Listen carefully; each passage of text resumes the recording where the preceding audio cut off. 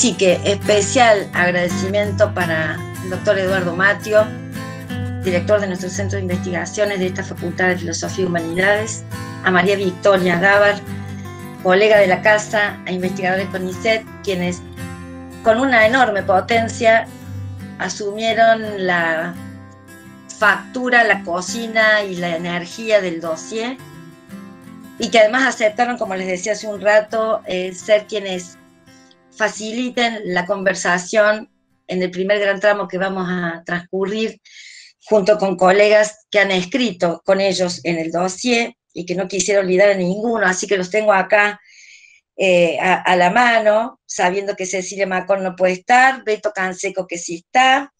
Em, pueden creer que no lo encuentro ahora. César Tizoco, que también está, y Anina Moretti Vaso, que no sé si estás por ahí, no alcancé a divisarte entre tanta pantallita que se va abriendo. Por supuesto, también Hola, ahí estamos. Hola, Yanina, ¿cómo estás? Un enfático agradecimiento también a cada eh, intelectual que nos tributó sus artículos para esa primera gran sección de la revista que se llama justamente artículos y es una sección general que puede dialogar o no con el eje de pertinencia que define cada dossier. Y entonces, por supuesto, ahí Arturo Escobar, nuestro querido antropólogo colombiano, casi un bien común ya de los latinoamericanos y las latinoamericanas. Muchísimas gracias. Ana Lepstein, una queridísima colega de finísima sensibilidad de nuestro campo disciplinar, que es docente investigadora de esta universidad. A la querida Carmen Perilli, que saludamos hace un rato, destacadísima en su campo de investigación, que es la literatura hispano, latino, americana de la Universidad Nacional de Tucumán, también investigadora de CONICET, y a Sergio Muñoz Chipre, que ahora no lo estoy viendo, pero estaba hace un ratito, profesor de literatura en la Universidad Nacional de San Juan en el campo de la literatura argentina. Especial también nuestro agradecimiento que va además con un gran abrazo y el mejor deseo de una prontísima recuperación para la doctora María Emilia Tillú de la Universidad de Chile, que dirige un programa sobre racismo y que lamentablemente no nos puede acompañar. Pero bueno, ya se va a restablecer, así que de acá, María Emilia, lo mejor. Y a Daniel Mato, doctor en Ciencias Sociales, profesor de la Universidad Nacional 3 de Febrero e investigador de CONICET, que junto con María Emilia nos brindaron los textos que componen la zona de debate de este número 5. Voy a mm, contarles brevemente algo antes de que Flavia, nuestra decana, nos invite a conversar, abriendo ella el uso de, la palabra. No me gusta expresarlo así, pero en todo caso abriendo la conversación. En realidad, esta es la segunda vez que Terotopía como equipo, como revista, convoca a juntarse para conversar a propósito de la aparición de un número. La primera ocasión fue en 2018,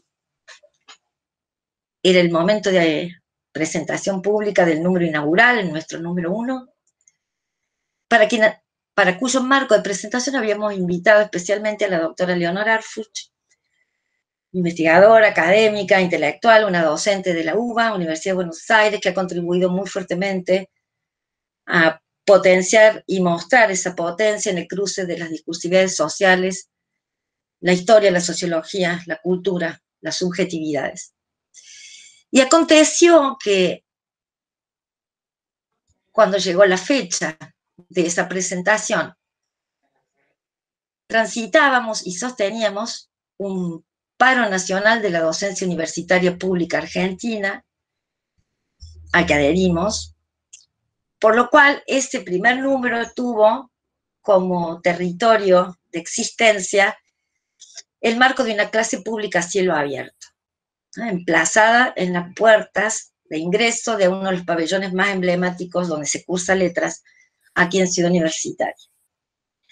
En esta ocasión, en cambio, estamos con la espacialidad y la temporalidad muy trastocada en esta virtualidad que nos permite estarnos, vernos pero sin convivio, para tomar una palabra tan cara al teatro como ritual, sin encarnaduras, sin contactos, sin la posibilidad de entre chocar copas en un brindis propiciatorio en común, pero que al menos facilita este poder generar una polifonía que juxtapone espacialidades de una manera y acerca espacialidades de una manera que no deja de sorprender. Evidentemente, esta heterotopía de la pandemia, desde la cual hablamos, estamos afectados y empezamos a transitar no hace mucho, y sobre la que no dejamos de reflexionar, es el encuadre que, que hoy nos toca. Y a mí me gustaba esto de imaginarme, proponerles que hiciéramos como si, el como si es el pacto fundacional de la ficción literaria, el como si esta fuera una casa de puertas abiertas de América Latina. Y esa condición imaginaria que nos posibilita, en cambio, estar presentes virtualmente, no solo nos da este cobijo, este poder hospedarles, sino que además nos resguarda una ética del cuidado de no inocularnos, sabiendo que prácticamente una de las pocas certezas de esta pandemia es que cualquiera puede hacer de su cuerpo la aportación del virus. Pero así como nos resguarda del COVID, esta casa imaginaria, si no fuera imaginaria, si fuera una casa realmente existente en cuanto a territorialidad material, empírica,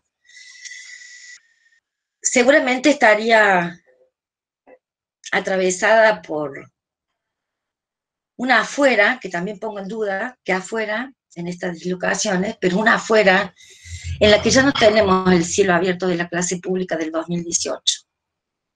Lo que respiramos es una biósfera arrasada, partículas de biósfera. Lo que vemos no es el sol ni el cielo, sino un negruzco y rojizo manto de bosque y monte quemado. Lo que ven nuestros ojos no son solamente ese no cielo, sino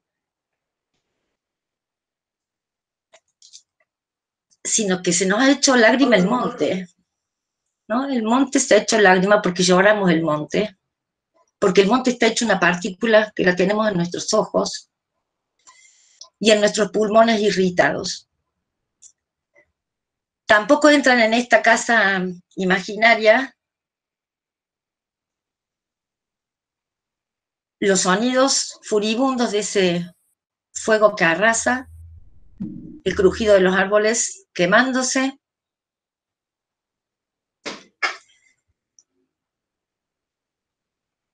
los gritos desfavoridos de los animales y el llanto de los humanos.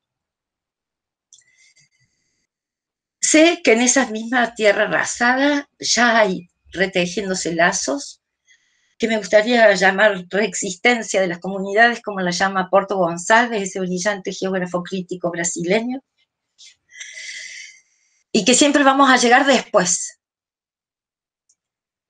Esta cuestión del después, llegar después a esos espacios otros, esas espacialidades otras, voy a arriesgar acá una postura personal, eh, no es del equipo, sino que la digo a título con mi nombre propio, y es que esas espacialidades otras no nos requieren para existir, que siempre llegamos después, no está mal, pero llegamos después, y que quizá por eso esta revista no se llama Heterologías, que estaría apostando una especie de sensibilidad para detectar esas espacialidades otras, esas vidas y formas de vidas otras, sino que nombrarlas como heterotopía nombra y pone en foco al mundo como un vector. Es el mundo en el que existen y son reales esas espacialidades otras, que esperemos que ese mundo nos afecte, que nos permitamos dejarnos afectar, en el mejor de los casos, ojalá. Creo también que en esta tierra arrasada, que me gustaría nombrar como zona extrema, usando una categoría de Saskia Sassen, hay más razones y más necesidades de vernos y escucharnos. Así que, Flavia, te queremos escuchar.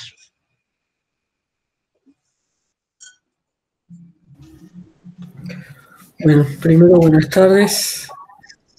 Es una, una alegría y un privilegio poder compartir la salida de este número de terotopías. Estuve también en aquella clase pública, aquel día entre paros y tomas, y a mí me parece que lo que persiste en medio de, de todo esto, que a veces como una humanidad de tranco corto, lo digo por ahí de mi condición de persona que se dedica un poco a la antigüedad y el medioevo, donde los tiempos son largos, ¿vieron? Son largos y la conciencia de la distancia siempre es enorme respecto de la lengua, respecto de los espacios. Entonces a veces mirar las cosas desde lejos nos, nos permite una cierta perspectiva y también un análisis de lo nuclear. Y en ese sentido creo que ciertamente este, pensar en estos espacios otros es pensar en, esos espacios eh, buscados, ¿no? O en esos espacios que analizados en su desnudados en su cruda realidad, yo soy todavía de las que usan la palabra realidad, nos permitan ir en busca de otra cosa porque superamos su frontera. Entonces, lo que para mí es constante desde aquel número primero y este es la lucha, ¿no? Es la lucha, es la necesidad de luchar. Es eso que los griegos llamaban peito, el corazón en el sentido del pecho, el lugar en el cual también tienen su sede los afectos, dado que contamos con un dossier y con debates y reseñas que están ligadas a ese mundo, ¿no? Al mundo de, de una, una dinámica, y uso la palabra dinámica y no la palabra lógica, este, una dinámica en el sentido de un, movimiento, de un movimiento que es este, integrador, abrazador, inventando aquí, haciendo un, lío morfológico, ¿no? Este, entre verbos y sustantivos. Eh, me parece que lo, digo como, como, como docente, como investigadora, como quien hoy tiene a su cargo el decanato de la facultad. Me parece que esta revista, esta publicación, la sinergia que se da en los artículos, en la zona de debates, en las reseñas, entrevistas, eh, pone, pone por un lado en escena esa constante, eh, la lucha, el, el agón que se significa la actividad, no solo la actividad intelectual en general, sino la actividad de enseñar y aprender, investigar, hurgar en la memoria, generar imágenes que todavía este, no conocemos, diseñar fronteras que, son muy viejas, este, analizarlas y poder correr los espacios y los ámbitos de esas fronteras y todo eso hace al núcleo de lo que a mí me interesa sobre todo, cómo se piensa, cómo se escribe, cómo se debate, cómo se produce conocimiento, cómo se articula, cómo se lucha la universidad pública. Este, creo que en el corazón de, esta publicación late ese, ese caldo, ese calor ese mundo de certezas e incertezas y esa apuesta a correr, eso que se dice, correr las fronteras de lo posible. Y aquí, la, así como hay, hay elaboraciones teóricas que hacen masa con el tiempo, evidentemente esta revista desde su nombre mismo hace masa con la noción de espacio. Y espacio en el sentido amplio de la palabra, no solamente el espacio físico, y con esto voy yéndome, sino al tema del lugar, ¿no? Finalmente todos y cada uno, cada una de quienes estamos aquí aún virtualmente, estamos en un lugar, ¿no? En un lugar físico, en un lugar mental, en un lugar político, en un lugar afectivo. Y desde ese lugar este, coincidimos, desde ese lugar también nos peleamos o peleamos, desde ese lugar hacemos lugar a otros y a otras. Creo que ahora que existe el giro afectivo, antes había discusión sobre los afectos, afectus, prospatia, pero ahora que hay un giro afectivo, que hay un rulo afectivo, lo diría así, me parece que quizá después de mucho tiempo de cadaverización del pensamiento, como diría Adorno, que es también cadaverización de la praxis, del horizonte político, etc., estamos quizá en, posibilidad de tener algo que mis amigos medievales llamaron un intellectus amoris, ¿no? Una especie de, de intelecto este, que puede ser movido por el amor, que es una enorme fuerza unitiva, agónica y diacrítica, ¿no? Y que entonces puede pensar en otros afectos. Uno también elige desde dónde pensar afectos. ¿no? Uno puede pensar el odio desde el odio, o puede pensar el odio desde el amor. Yo sé que hablar de amor este, suena ridículo y más en la academia. ¿Cómo vas a hablar de amor? ¿De qué otra cosa hablaríamos? ¿No? ¿De qué otra cosa hablaríamos? De, del amor como fuerza unitiva, de la filia como amistad, del amor como agape, como encuentro. Entonces a mí me parece finalmente que en esta revista de Heterotopías, en este número, en las colaboraciones de las que ahora se hablará, de tantos compañeros, compañeras, colegas en los debates, en las entrevistas, en las reseñas. Reitero, en toda esa dinámica, ese movimiento, eh, lo que se hace presente son todas esas dimensiones del hacer en la universidad pública, en este lugar político eminentemente que es la universidad pública, ¿no? El amor como tendencia, como deseo, como encuentro y también por eso como lucha y como lugar también para encontrarse con otros y otras en la amistad y también poder pensar en políticas de la amistad, de una amistad social, de una amistad política, y una amistad colectiva, no tribal o excluyente, y también poder pensar políticas del encuentro.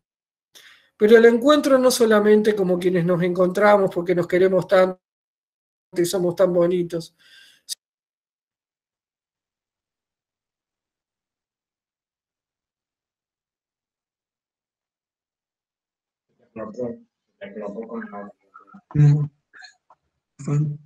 Flavia, Flavia, tu mm. micrófono, querida. Quiero y las quiero felicitar, quiero agradecer y quiero este, poner el foco en esta apuesta de compañeros y compañeras con un largo camino en el compromiso por una forma de construir conocimiento, de construir saberes, de atravesarlos, de compartirlos y de ponerlos a disposición de otros y otras, y de un modo de hacer políticas a través de eso, y de un modo de hacer lugar a voces, experiencias, formas de existencia que no parecieran tener lugar en otros espacios, aún en nuestros mismos espacios universitarios e intelectuales. Así que este, brindo por eso, este, me congratulo de eso y este, paso la palabra. Muchas gracias, querida decana, compañera de tantas andadas en esos espacios de encuentro, como bien decís. Yo ahora voy a pasar la palabra también a querido Eduardo Matio y a la, Ah. tengan que seguir interviniendo. Estamos entonces. ¿Estamos ahí? ¿Me escuchan? Sí, ahora sí. Se corta intermitentemente el micrófono.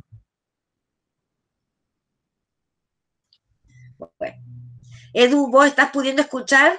Sí, sí, perfecto, perfecto. María Victoria, ¿anda por ahí la Vicky? Yo no te... Bueno, ahí, estás. Bueno, le decía a Flavia que, y a todas y a todos que ahora yo les paso la palabra, volviéndoles a agradecer infinitamente no solo la producción del, del dossier y esta coordinación que van a entablar ahora en diálogo, sino la potencia que pusieron, las búsquedas que iniciaron, la seriedad con la que encararon la cocina de este dossier, las búsquedas que hicieron para cruzar polifónicamente textos y aportes. Así que infinitas gracias en nombre de todo el equipo de la revista y los escuchamos a ustedes ahora. Bueno, muchas gracias, Mirta. En primer lugar, justamente queremos agradecerte a vos y a todo el comité editorial de Heterotopías por haber aceptado nuestra propuesta de dossier. Me acuerdo que hace más o menos un, poco más de un año le habíamos propuesto a la Sole que en el marco de a la Sole Boero, también miembro del, del comité editorial, que en el marco de esta revista dedicada a estudios críticos del discurso, si les interesaba esta, esta propuesta. Sin la hospitalidad que ustedes nos brindaron, este trabajo que compartimos con Victoria, con la Colo, no se hubiera podido realizar. Coordinar el dossier fue una, una oportunidad muy grata para nosotros porque nos, nos permite presentar algunas de las cuestiones e inquietudes que atraviesan nuestro trabajo en el equipo de investigación que tenemos en el Centro de Investigaciones de la Facultad.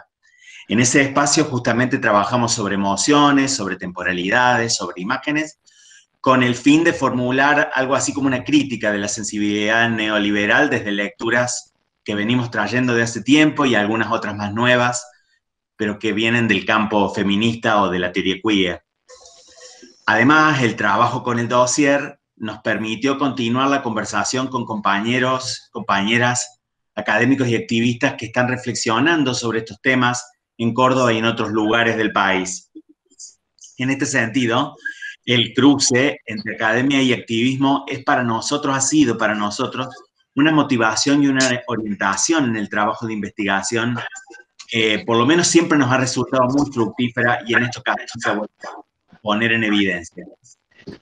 Y además porque nos ha permitido en un, en un marco interdisciplinario abordar materiales discursivos que provienen de distintos campos, la literatura, los medios, el cine, el activismo sexogenérico y antirrepresivo. Es decir, en esa variedad de fuentes creemos que ha sido posible expresar parte del trabajo que hacemos y que también se ha podido proponer a través del dossier. Em, bueno, yo también quería sumarme en principio a saludar, buenas tardes a todas y a todos, y me sumo al agradecimiento del EDU, em, a vos Mirta, a todo el equipo de la revista, em, porque es un honor realmente poder haber, haber podido trabajar en este espacio. Y les queríamos contar un poquito, eh, quizá metiéndonos con lo más específico del dossier, contarles un poquito de qué va, digamos. El título del dossier, como decía Mirta, es Giro afectivo y discursos sociales, críticas, representaciones y políticas.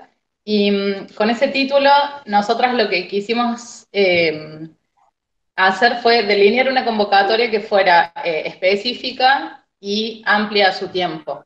Eh, ¿Por qué digo esto? Específica porque convocaba una serie de textos y preocupaciones eh, que versaran como siempre señala el Edu, sobre estas gramáticas emocionales que regulan, que regulan esos lugares que parecieran más, más cristalizados de nuestra sensibilidad, de lo que nos pasa, por eso la introducción se llama así, es lo que siento. Em, esos lugares cristalizados de la sensibilidad, las posibles respuestas éticas, todas aquellas cuestiones que parecen más del orden de lo inapelable y de lo indiscutible, pero eh, convocar esas discusiones apoyadas en las autoras del giro afectivo En ese sentido, estábamos interesados en reponer unas discusiones más bien alrededor de las teorías críticas del afecto de la mano de los feminismos, por eso también la invitamos a Cecilia Maconi, es una pena que, no pudiera estar, em, pero intentamos que fuera una convocatoria amplia a la vez, y amplia quizá eh, esa amplitud se ve reflejada más en el sentido del registro, ¿verdad? Porque esperábamos, y creo que lo logramos, eh, ciertas contribuciones eh, más de orden teórico, algunas que abordaban críticamente algunos discursos sociales, artefactos culturales en los que se actuaban esos guiones afectivos y ciertas reflexiones éticas y políticas que están encarnadas en el afecto. Eh, participaron del dossier, como, como ya dijimos, Cecilia Macón, Nicolás Cuello, Adriana Boria, Cecilia Luque, Agostina Silvestri, Emma Son y Julia Crosa, y también Janina Moretti y Sasha Hilas. También contamos con dos traducciones, dos valiosas traducciones, una de Renata Prati, de un artículo de José Esteban Muñoz, que solo se podía leer en inglés, y, y también con otra, con otra traducción de Beto Canseco y de César Tizoco, que ya nos tienen acostumbrados a las buenas traducciones, en este caso de, una entrada del blog de, de Sara Ahmed, que también dialoga muy bien con, el resto de los, de los textos del dossier. Eh, y también conversábamos con el Edu y con el resto del, equipo de la revista Su Tiempo que estábamos contentas porque el dossier no, no, había resultado como atomizado dentro del resto del número 5 de la revista, sino que dialogaba a su vez muy bien con varios artículos y varios textos que, allí estaban. Entonces, allí sí podríamos destacar uno de esos diálogos, que es em, el diálogo que tiene el dossier con la entrevista a Val Flores, que también hicimos junto a Edu. La entrevista se titula Una agenda de derechos, ¿qué agenda de afectos es? Eh, es una entrevista, no porque la hayamos hecho nosotros, sino por lo que dice eh, de ella, es porque es muy, como nos tiene acostumbradas Laval, eh, muy lúcida y a la vez muy inquietante, ¿verdad? Eh, y además el dossier dialoga con las reseñas que están incluidas en el número. Eh, hay tres de esas reseñas que están vinculadas específicamente a este giro afectivo. la reseña de Mariela Solana, que reseña el libro de Natalia Tacheta y Irene de Petris, Afectos, Historia y Cultura Visual. la reseña de Martín, que no sé si anda por ahí, Martín de Mauro, del libro de Ana Kiefer y Gabriel Giorgi, las vueltas del odio, y la reseña de Natalia Armas, que es específicamente sobre la promesa de la felicidad de Sarah Ahmed, y la cuarta reseña es de Andrea Torrano sobre el libro de La Sole que compilaron, pero del que también fueron parte La Sole Boero y Alicia, que es Gestos Vitales, este bello librito. Eh, bueno, ahora vamos a presentar brevemente en este primer segmento a nuestros invitados de esta primera parte de la presentación. Iba a estar, como dijimos ya, Cecilia Macón, eh, pero un inconveniente no le permitió sumarse, se disculpaba y, agradecía la invitación, pero lamentablemente no pudo, no pudo sumarse. Eh, otro de los invitados es Beto Canseco. Sí, eh, bueno, Beto, que anda por allí, es feminista prosexo, es miembro del asentamiento francés y del festival El Deleite de los Cuerpos, que este año cumple 10 años. Eh, Beto es doctor en estudios de género por el Centro de Estudios Avanzados de la Facultad de Ciencias Sociales y es magíster en filosofía por la Universidad Federal de ABC en Santo Andrés, Brasil, que es donde actualmente vive. Eh, es autor de Eroticidades Precarias, la ontología corporal de Judith Butler, un bello libro donde pone jugar el concepto de justicia erótica y también es compañero de nuestro grupo de investigación. Eh, también nos acompaña César Tizoco, que es activista prosexo, es egresado de la Facultad de Lenguas de la Universidad Nacional de Córdoba, es docente de nivel secundario y miembro del Deleite de los Cuerpos. Eh, su trabajo de traducción sobre textos feministas y sexo disidentes es para nosotros toda una referencia acaban de publicar con Beto la traducción de un texto clásico de Robert McRuer que se llama Capacidad Corporal Obligatoria y Existencia Discapacitada Queer, que la verdad que les recomendamos buscar y leer. Sí. Y eh, luego Leyani, Yanina Moretti Vaso, eh, que también estaba por allí. Eh, Yanina es doctora en filosofía por la Universidad Nacional de Córdoba, también una tesis batleriana, y licenciada en filosofía por la misma universidad. Es profe adscripta en la Cátedra de Filosofía Política 2 de la Escuela de Filosofía y activista cultural en el Club Social y Deportivo de Agua de Oro. Es miembro del Núcleo de Estudios en Intervención en Seguridad Democrática y con la NOEGAL eh, compilaron recientemente un texto del grupo de investigación también eh, problematizando el terreno de los afectos que se llama Sentirse Precarias, que salió por el sello editorial de la UNC y por supuesto es compañera del equipo de investigación también. Bueno, para nuestra, nuestras entrevistadas preparamos algunas preguntitas. Eh, la primera que queremos compartir eh, es para Yanina, Yanina Moretti Basso. A ella le preguntábamos cómo veía el campo de estudios local, Córdoba en particular, el campo de estudios local acerca de los afectos y el vínculo particular que acá hemos establecido entre giro afectivo y precariedad. Te escuchamos, Yani. Hola, buenas tardes. Bueno, muchas gracias por la invitación a la presentación y bueno, antes también, bueno, la alegría de, formar parte del dossier en un artículo que escribimos con Sasha Hilas.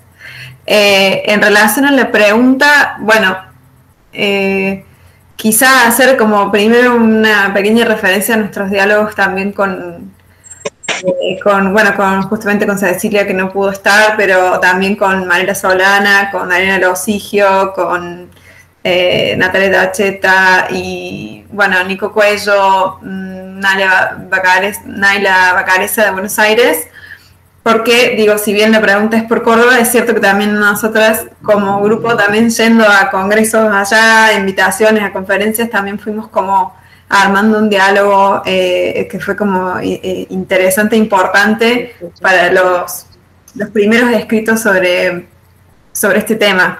Eh, yo creo que, si bien como decía Flavia en la, en la apertura, de, digamos, en el caso de quienes somos de filosofía y, y, aledañas, eh, podemos decir que de los afectos y de las pasiones se ha hablado durante toda la historia, se podría decir que este giro viene como de la mano del feminismo, de los feminismos y de la teoría queer, y que ahí entonces como que nuestro abordaje también ha partido de eh, eh, acá en Córdoba me parece a partir de, preocupaciones previas, ¿sí? como que en, esta, en estas lecturas también feministas ya nos veníamos preguntando por el gobierno de los cuerpos, por las situaciones de precarización, pero también de resistencia. Y, y de alguna manera, en particular, creo que también de la mano de muchas reflexiones, actividades, talleres que se dieron en el asentamiento per se. Eh, bueno, de la mano de los chicos que también están acá hoy, eh, Noegal, bueno, se fue como, se, ha ido gestando una reflexión coral, digamos, en relación a los afectos, que, como bien decías, Edu, lo, vincula de una manera específica con la precariedad, justamente porque era un lugar que nosotros estábamos mirando, es decir, eh, la, precariedad en esa doble valencia de ser algo que nos aúna en cuanto es una condición común, porque somos cuerpos, digamos, pero también esa precariedad diferencialmente distribuida y en esa distribución diferencial creo que nosotros pusimos esa atención en, eh, en el giro afectivo en cuanto a algo que un giro teórico político que nos abría el análisis eh, no solamente al cuerpo, sino al entre cuerpos, eh, que nos permitía poner el énfasis en la relación y en la, en, la, relación como aquello que es fundante, digamos, y no como algo posterior a la existencia de unos individuos. Eh, y que creo que en el caso también de, de, nuestros grupos de investigación que están en diálogo también con algunas compañeras del CEA, el doctorado en género y en particular con nuestro, grupo de CIFI, eh, me parece que esto, como esta, esta perspectiva de mirar una, una crítica a, la circulación de afectos neoliberal, es algo que nos ha hecho hacer foco en, la precariedad también como, como, como, distribución diferencial de los afectos, de los afectos o de cómo se puede, o de qué afectos son reconocibles, ¿sí? como, como un vínculo ahí entre la, entre la precariedad que ya veníamos pensando en relación a los cuerpos y el gobierno de los cuerpos, y em, los afectos como aquello que circula, como aquello que, que, da cuenta de la relacionalidad y que también puede, como comentaba Victoria, este, esta compilación, esta primera compilación que, que se publicó hace poquito, que también puede, digamos, hacernos sentirnos precarias. Entonces, esa, esa vuelta del afecto eh, desde la perspectiva de la precariedad también permite ver ciertas alianzas, alianzas entre precarias, que también es un lugar que creo que en los materiales de la cultura, en las producciones culturales, en los discursos, eh, nos ha interesado mirar, ¿no? ¿Cuáles son esas alianzas entre precarias? ¿Cuáles son esas, esas otras posibilidades de la circulación del afectivo? Gracias, Yani. Em, em, también queríamos hacer, gracias, Yani, ahí, seguimos. Em, yo le quería hacer una pregunta a, eh, a César y a Beto eh, acerca de la traducción. Como les decíamos, eh, César y Beto tradujeron un texto de Sara Ahmed que se llama Smile, que está en el, en el blog de la autora. El blog se llama Feminist Killjoy. Em, y que es en algún sentido un, si se quiere, con el mismo espíritu de la promesa de la felicidad, pero en un registro más activista, se puede decir. Y respecto de esa traducción, em, me había quedado una duda, eh, una pregunta más general en realidad sobre el trabajo, la tarea que tuvieron al traducir, em, que es, eh, aún considerando las condiciones, eh, que las condiciones del trabajo de la traducción, en nuestro caso, dependen de una geopolítica del conocimiento, puede decirse, en la que el esquema sigue siendo eh, o bien norte-sur o bien centro-periferia, digo, es mucho más recurrente que seamos nosotras quienes traducimos a que seamos las traducidas. Eh, digo, aún considerando esas condiciones, ¿cuál es la potencia que encuentran en insistir de cualquier modo en el trabajo de la traducción? Hola, ¿me escuchas? Sí. Eh, bueno, primero buenas tardes, eh, gracias por, la invitación y gracias por la invitación, bueno, a la presentación y gracias por la invitación a traducir, porque no fue idea nuestra traducir eso, también hay que decirlo, era como este texto de, Sara Met está, conseguimos a que Sara nos, nos autorice, tradúcanlo. Ah.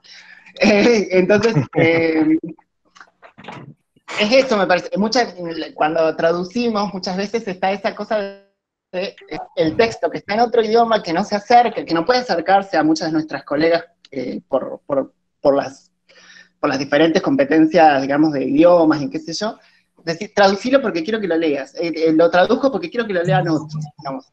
¿Y por qué se hace eso? Porque el texto, digamos, tiene esa, esa, tiene otros interlocutores, otras interlocutoras, nace en otro contexto, pero sus sentidos no se agotan en, su, en, ese, en ese texto. Sus sentidos se, expanden y solo se expanden cuando los traemos a otros lugares.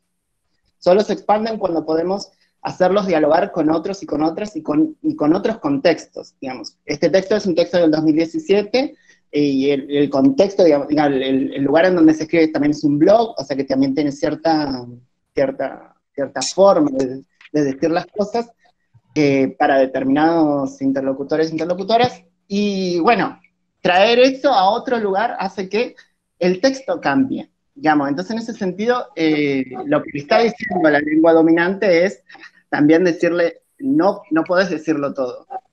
No, nunca pudiste decirlo todo, digamos, solamente trayéndolo aquí, solamente escribiéndolo en otro idioma, solamente haciendo que funcione en otro, en otro grupo de, lectores y lectoras, es que puede expandirse el sentido de ese texto. Sea, en ese sentido, eh, de, ese modo, digamos, podemos decir que, el, que, la traducción no solo invita a, nuevos, a nuevos diálogos, digamos, y que, sino que también pone un, parate a esa cosa del, digamos, un parate al, norte, digamos.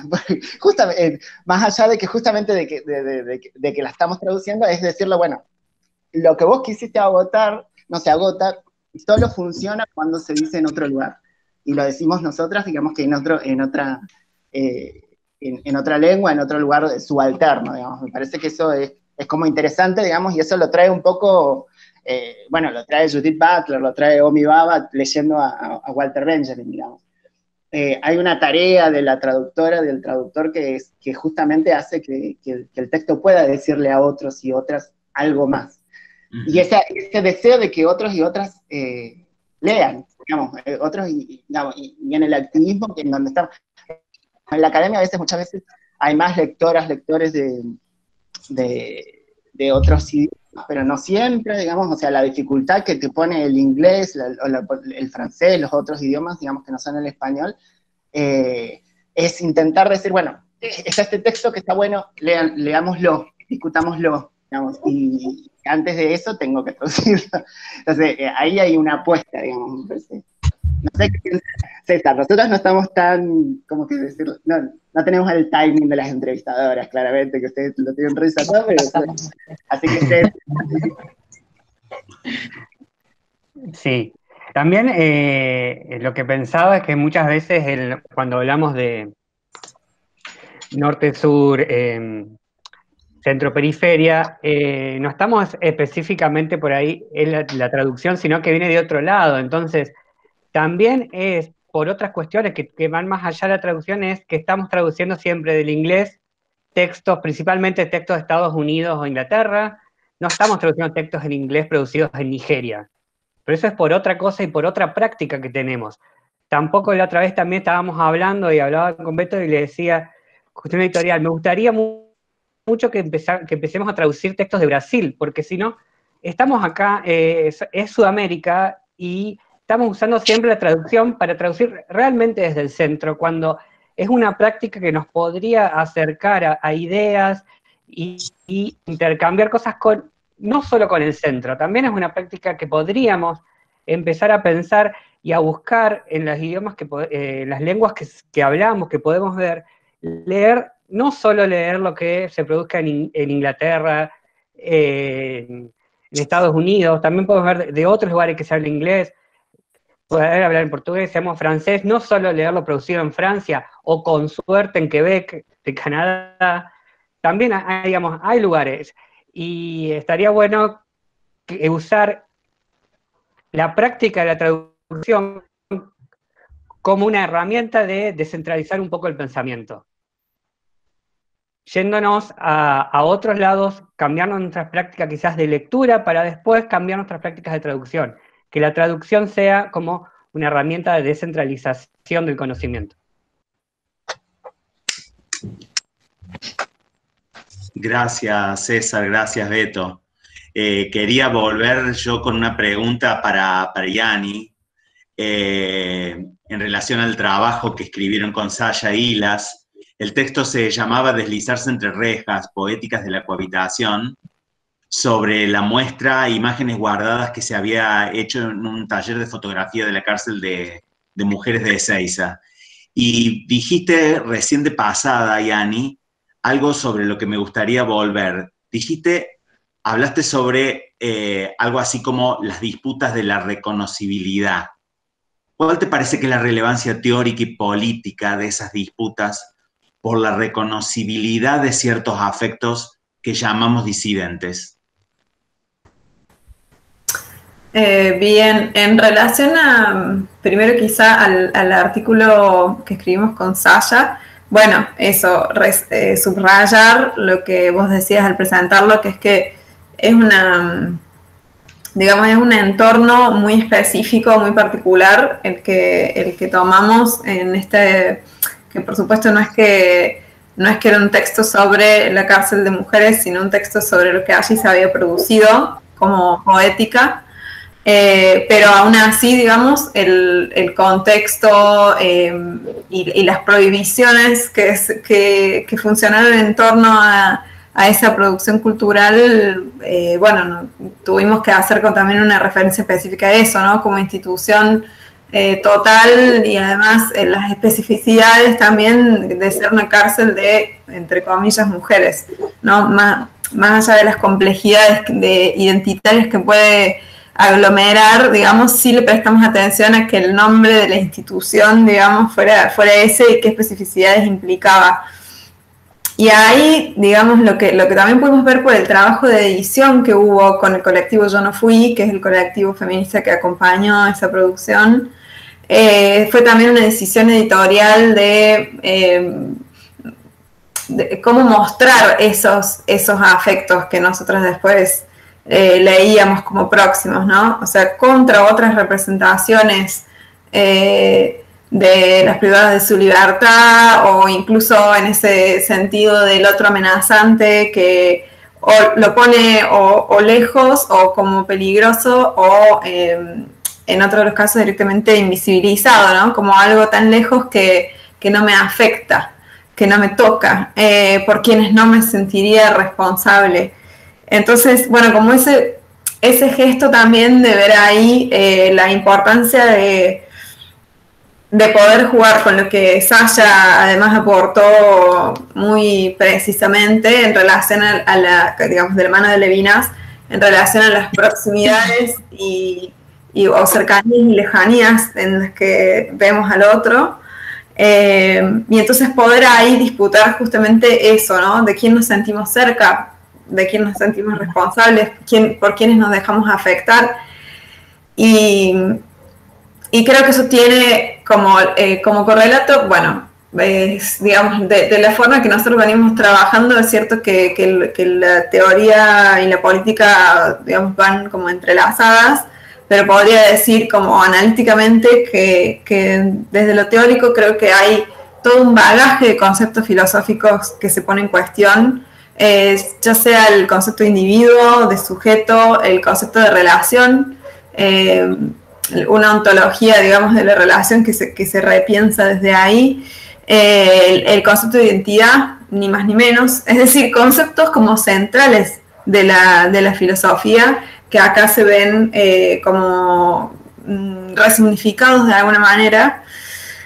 y que por otro lado, el de reconocimiento que también es como un concepto central eh, para el pensamiento occidental, acá se ve eh, puesto en jaque de alguna manera al preguntarse no tanto, eh, ¿qué vamos a decir?, cómo funciona ese reconocimiento, sino quién llega a esa escena de reconocimiento, bajo qué condiciones uno puede ser reconocido.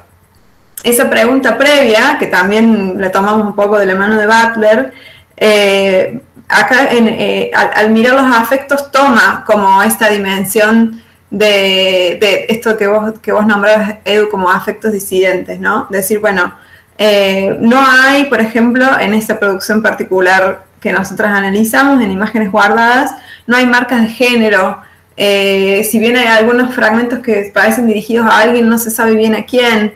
No hay tampoco marcas de parentesco heterosexual, no es una mamá que le escribe al hijito o sino que al menos no sabemos, ¿sí? En ese no saber eh, hay, hay, algo que hay algo que, aparece, de, que, va de la mano de los textos que escribieron estas mujeres y de las fotos, que marca también otras posibilidades de alianza.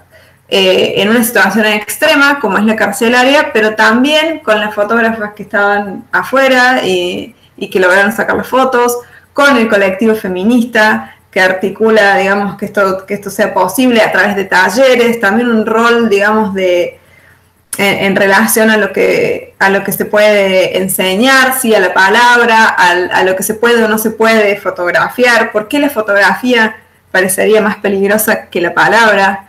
Entonces, bueno, ahí nosotros también hicimos como una apuesta. Creo que fue de las primeras cosas que pensamos juntos con Sasha. Eh, eh, que, definimos este pronombre femenino juntos también como, una, como un acuerdo y una alianza. Eh, y, digo, de las primeras cosas que definimos cuando hablábamos de trabajo fue el final. Pensar en esto, ¿qué pasó que no le en esa cárcel que se les prohibió tomar fotos, no le prestaron la suficiente atención, subestimaron la palabra? Entonces, ¿qué es lo que ahí sí se pudo filtrar? Eh, sí se pudo deslizar entre rejas.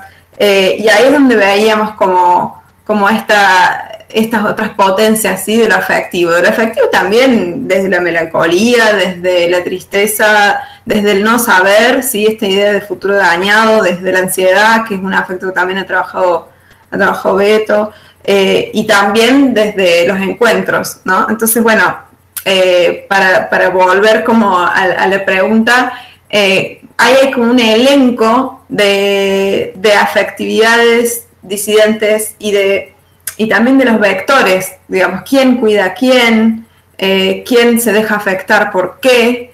Eh, esta idea, digamos, de, cambiar un poco el eje o de, más bien, de mirar afectos que ya están ahí, pero que no aparecían, que no, que, no se dejaban aparecer por, por cierta normatividad, por cierta violencia normativa, aparece precisamente como un lugar desde el que podemos tanto analizar esa violencia normativa como la capacidad de acción de los sujetos, ¿no? Entonces, digo, para responder me parece que es como un lugar clave disputar ahí porque se puede ejercer tanto una crítica de, las normas como eh, una echar luz, digamos, sobre ciertas eh, resignificaciones subversivas que ya están aconteciendo, ¿sí? Y que son, y que son interesantes justamente para eh, para poder contar con este, con, este elenco de afectos ampliado eh, del que trataba yo como de compartirles en, dos palabras. No sé si eso más o menos responde a la pregunta. Gracias, muchas gracias. Gracias. Em, bueno, entonces para ir cerrando este segmento de presentar el dossier, que por supuesto no, no pretende exhaustividad porque hay un montón de artículos y un montón de textos, pero sí al menos mostrar un poquito esa pluralidad. Em, les quería eh, hacer otra preguntita a las traductoras, eh, retomando esto que vos decías, Beto, de, de, la imposibilidad de decirlo todo, si específicamente eh, habían tenido como algunas, habían tenido que tomar decisiones puntuales de traducción respecto de algunos términos que, que resultaran así intraducibles o al menos eh, polémicos, digamos, en su, en su traslado. Eh, el texto más, no, es un, eh, no es un texto tan complicado a nivel, lingüísticamente, digamos, a nivel semántico, a nivel de términos, porque es un blog, básicamente, entonces ahí se nota, digamos, en el registro, la, la forma, pero en lo que sí se nota que hay como aspectos más intraducibles son aspectos culturales. El texto no nos habla, digamos, no es un blog escrito acá que nos hable, que nos hable a nosotros, le está hablando a otra gente, le está hablando a gente en otro lugar del mundo. Y, y eso, es, eh, eso es como el, mayor desafío al traducir este texto.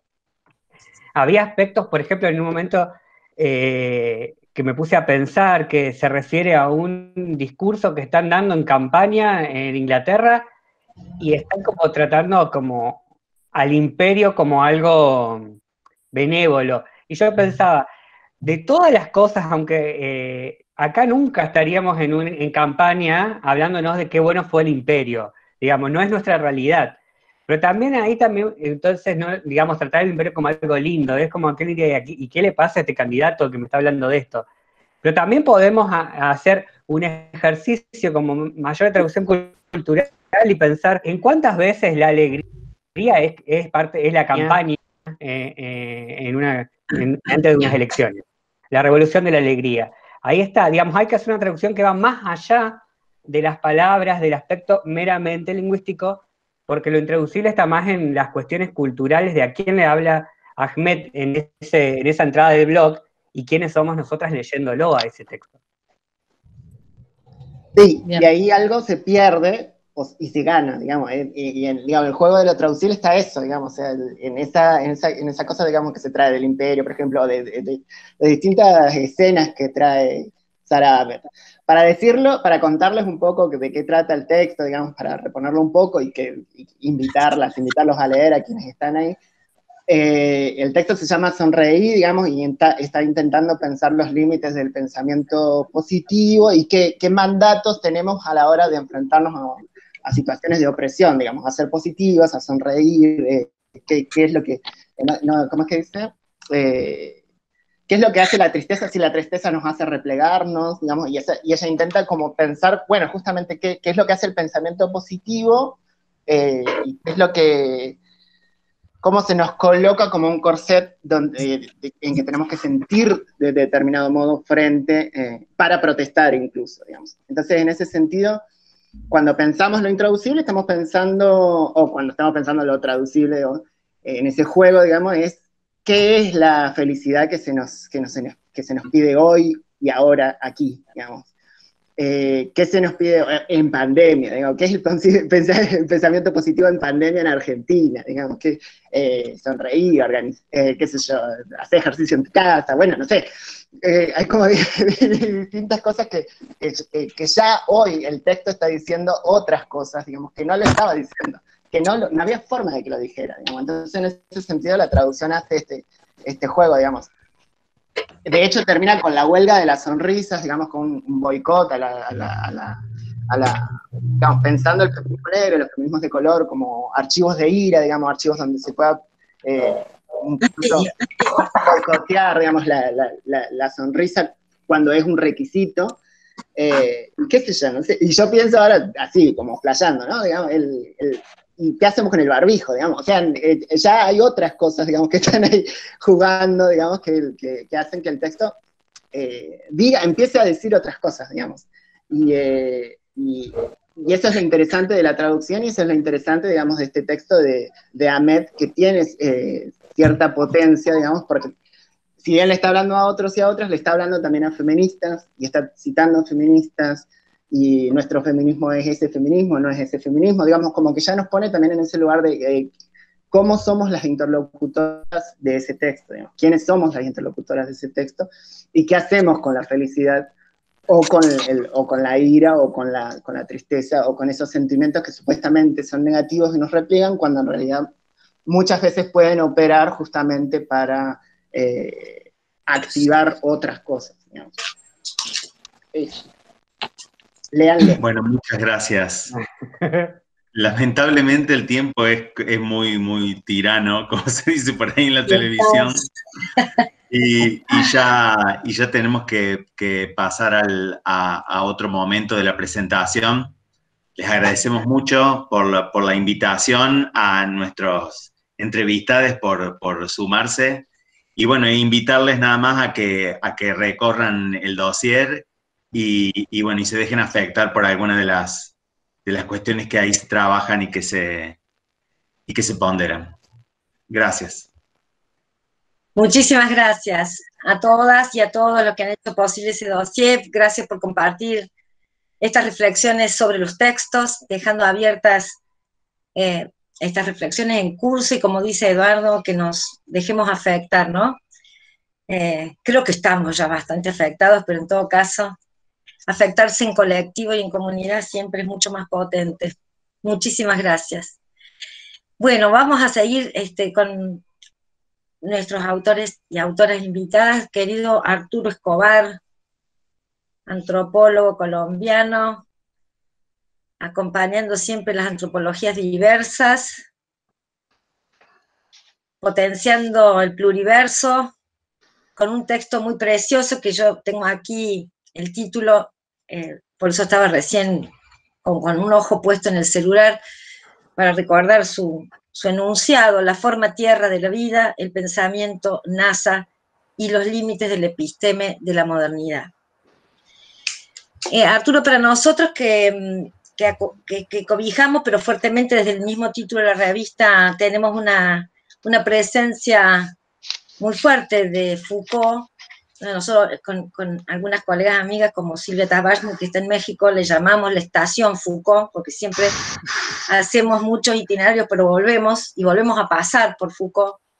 Realmente la política de encuentro que genera tu artículo eh, con este Foucault de la arqueología, haciendo del enunciado NASA de este pueblo del norte del Cauca colombiano, de la liberación de la tierra, una especie de vector político de, hacer crujir un modelo civilizatorio en coexistencia con el mundo occidental, es decir, en esa línea tan interesante que es pensar temporalidades hojaldradas en espacialidades contiguas, eh, que creo que es una de las potencias del pensamiento espacial, ¿verdad? De, las, de los socio-universos espaciales.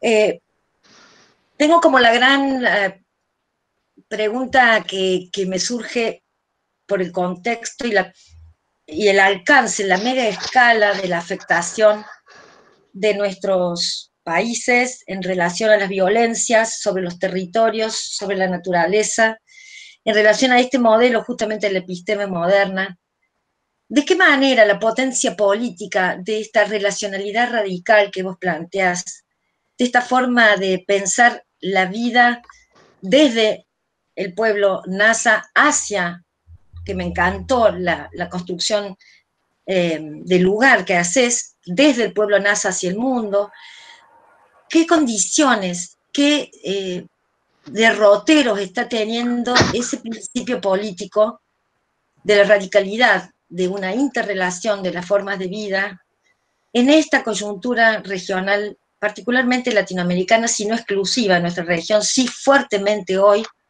atravesada por una violencia casi primaria, fundacional, ¿no? esa violencia del origen. Bueno, muy buenas todos, todas y todos. Eh, me alegra estar presente en esta discusión.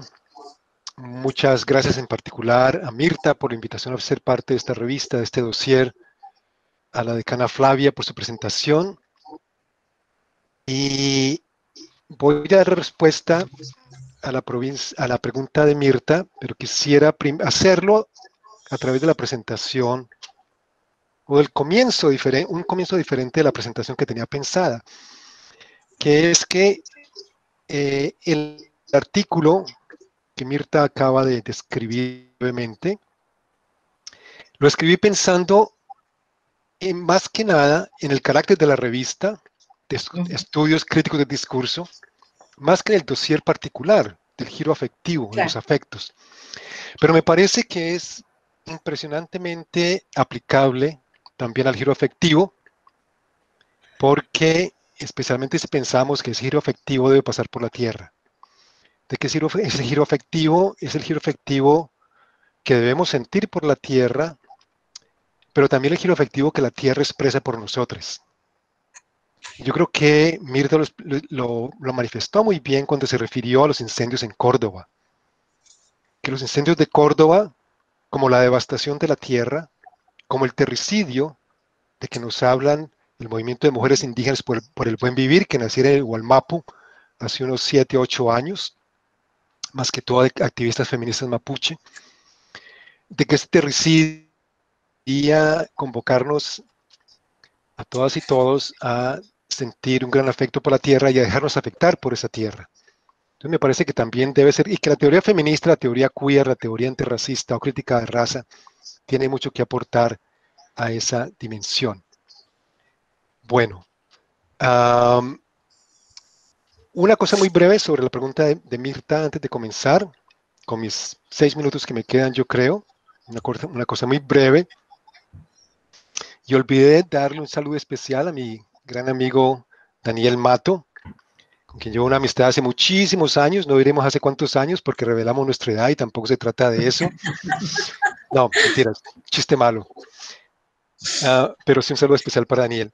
Y que uh, la radical, lo que llamamos relacionalidad radical, de muchos ámbitos, en muchísimos ámbitos, es una cosa que es, un concepto emergente desde las espiritualidades y, los, y, los, y las ah, religiones hasta los movimientos sociales más radicales están hablando de esto.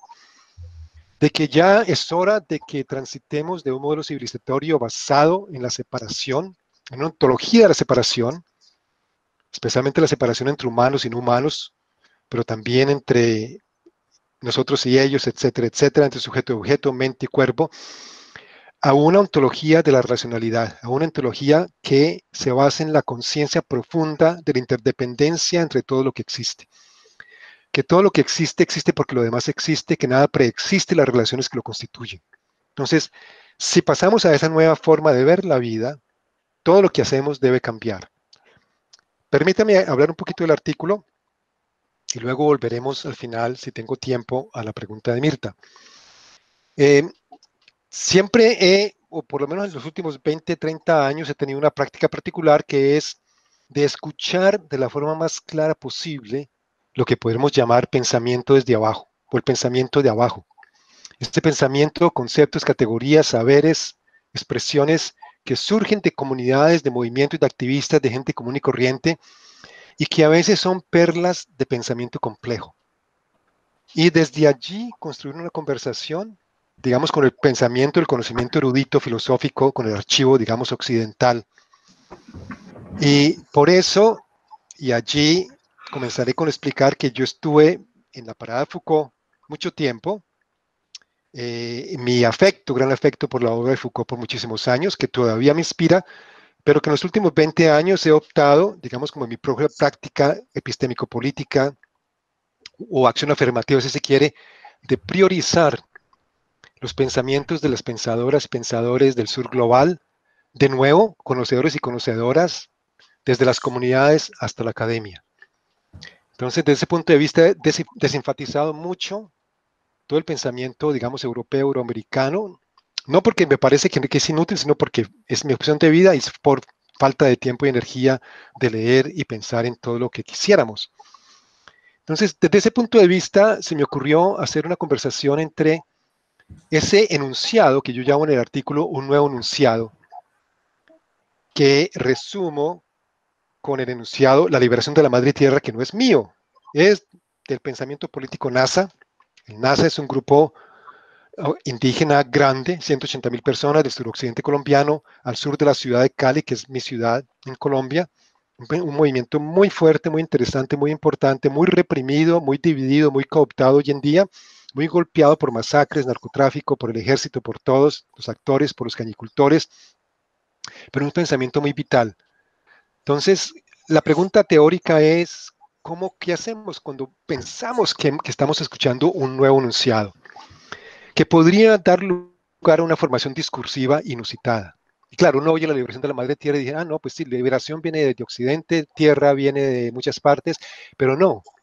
Si miramos todo el complejo, la, formación discursiva que las compañeras y compañeros NASA han venido articulando alrededor de este movimiento, que es un movimiento activo de recuperación de tierras y al mismo tiempo de liberación de la madre tierra como un todo, un movimiento muy radical, Vemos que se trata de una formación discursiva diferente porque viene esa relacionalidad radical. No es la liberación de que los humanos vamos a liberar a la tierra, no. Es que liberar, al, liberar, eh, comienza el enunciado por decir, la tierra estaba esclavizada, está esclavizada, y mientras la tierra está esclavizada, todas y todos estamos, somos esclavos. Por tanto, liberar la madre tierra, como, como las se lo conciben, es un proyecto para todas y todos. Hace una media hora antes de comenzar esta sesión, estaba en otra sesión, entre ellos había una, una persona que me fascinó, una intelectual feminista queer indígena brasilera. Eh, se llama, ay Dios mío, es un momentito, Fernanda Vieira, si mal no recuerdo, y dijo, dijo un par de cosas contundentes. Una de ellas fue que, eh, en cierta forma, que la lucha por la madre tierra es la la, lucha madre de todas las luchas, que debe ser la lucha madre de todas las luchas. O sea, la lucha contra el terricidio debe ser la lucha madre de todas las luchas. Bueno, entonces, lo que hago en el artículo es elaborar primero ese enunciado dentro de los archivos NASA, los archivos por lo menos escritos y, auditivos, porque tiene muchos programas de radio, y luego ponerlo en conversación con, con, especialmente con la teoría de discurso de Foucault en la arqueología del saber y presiento que se me acabó el tiempo, no sé cómo se pasó tan rápido.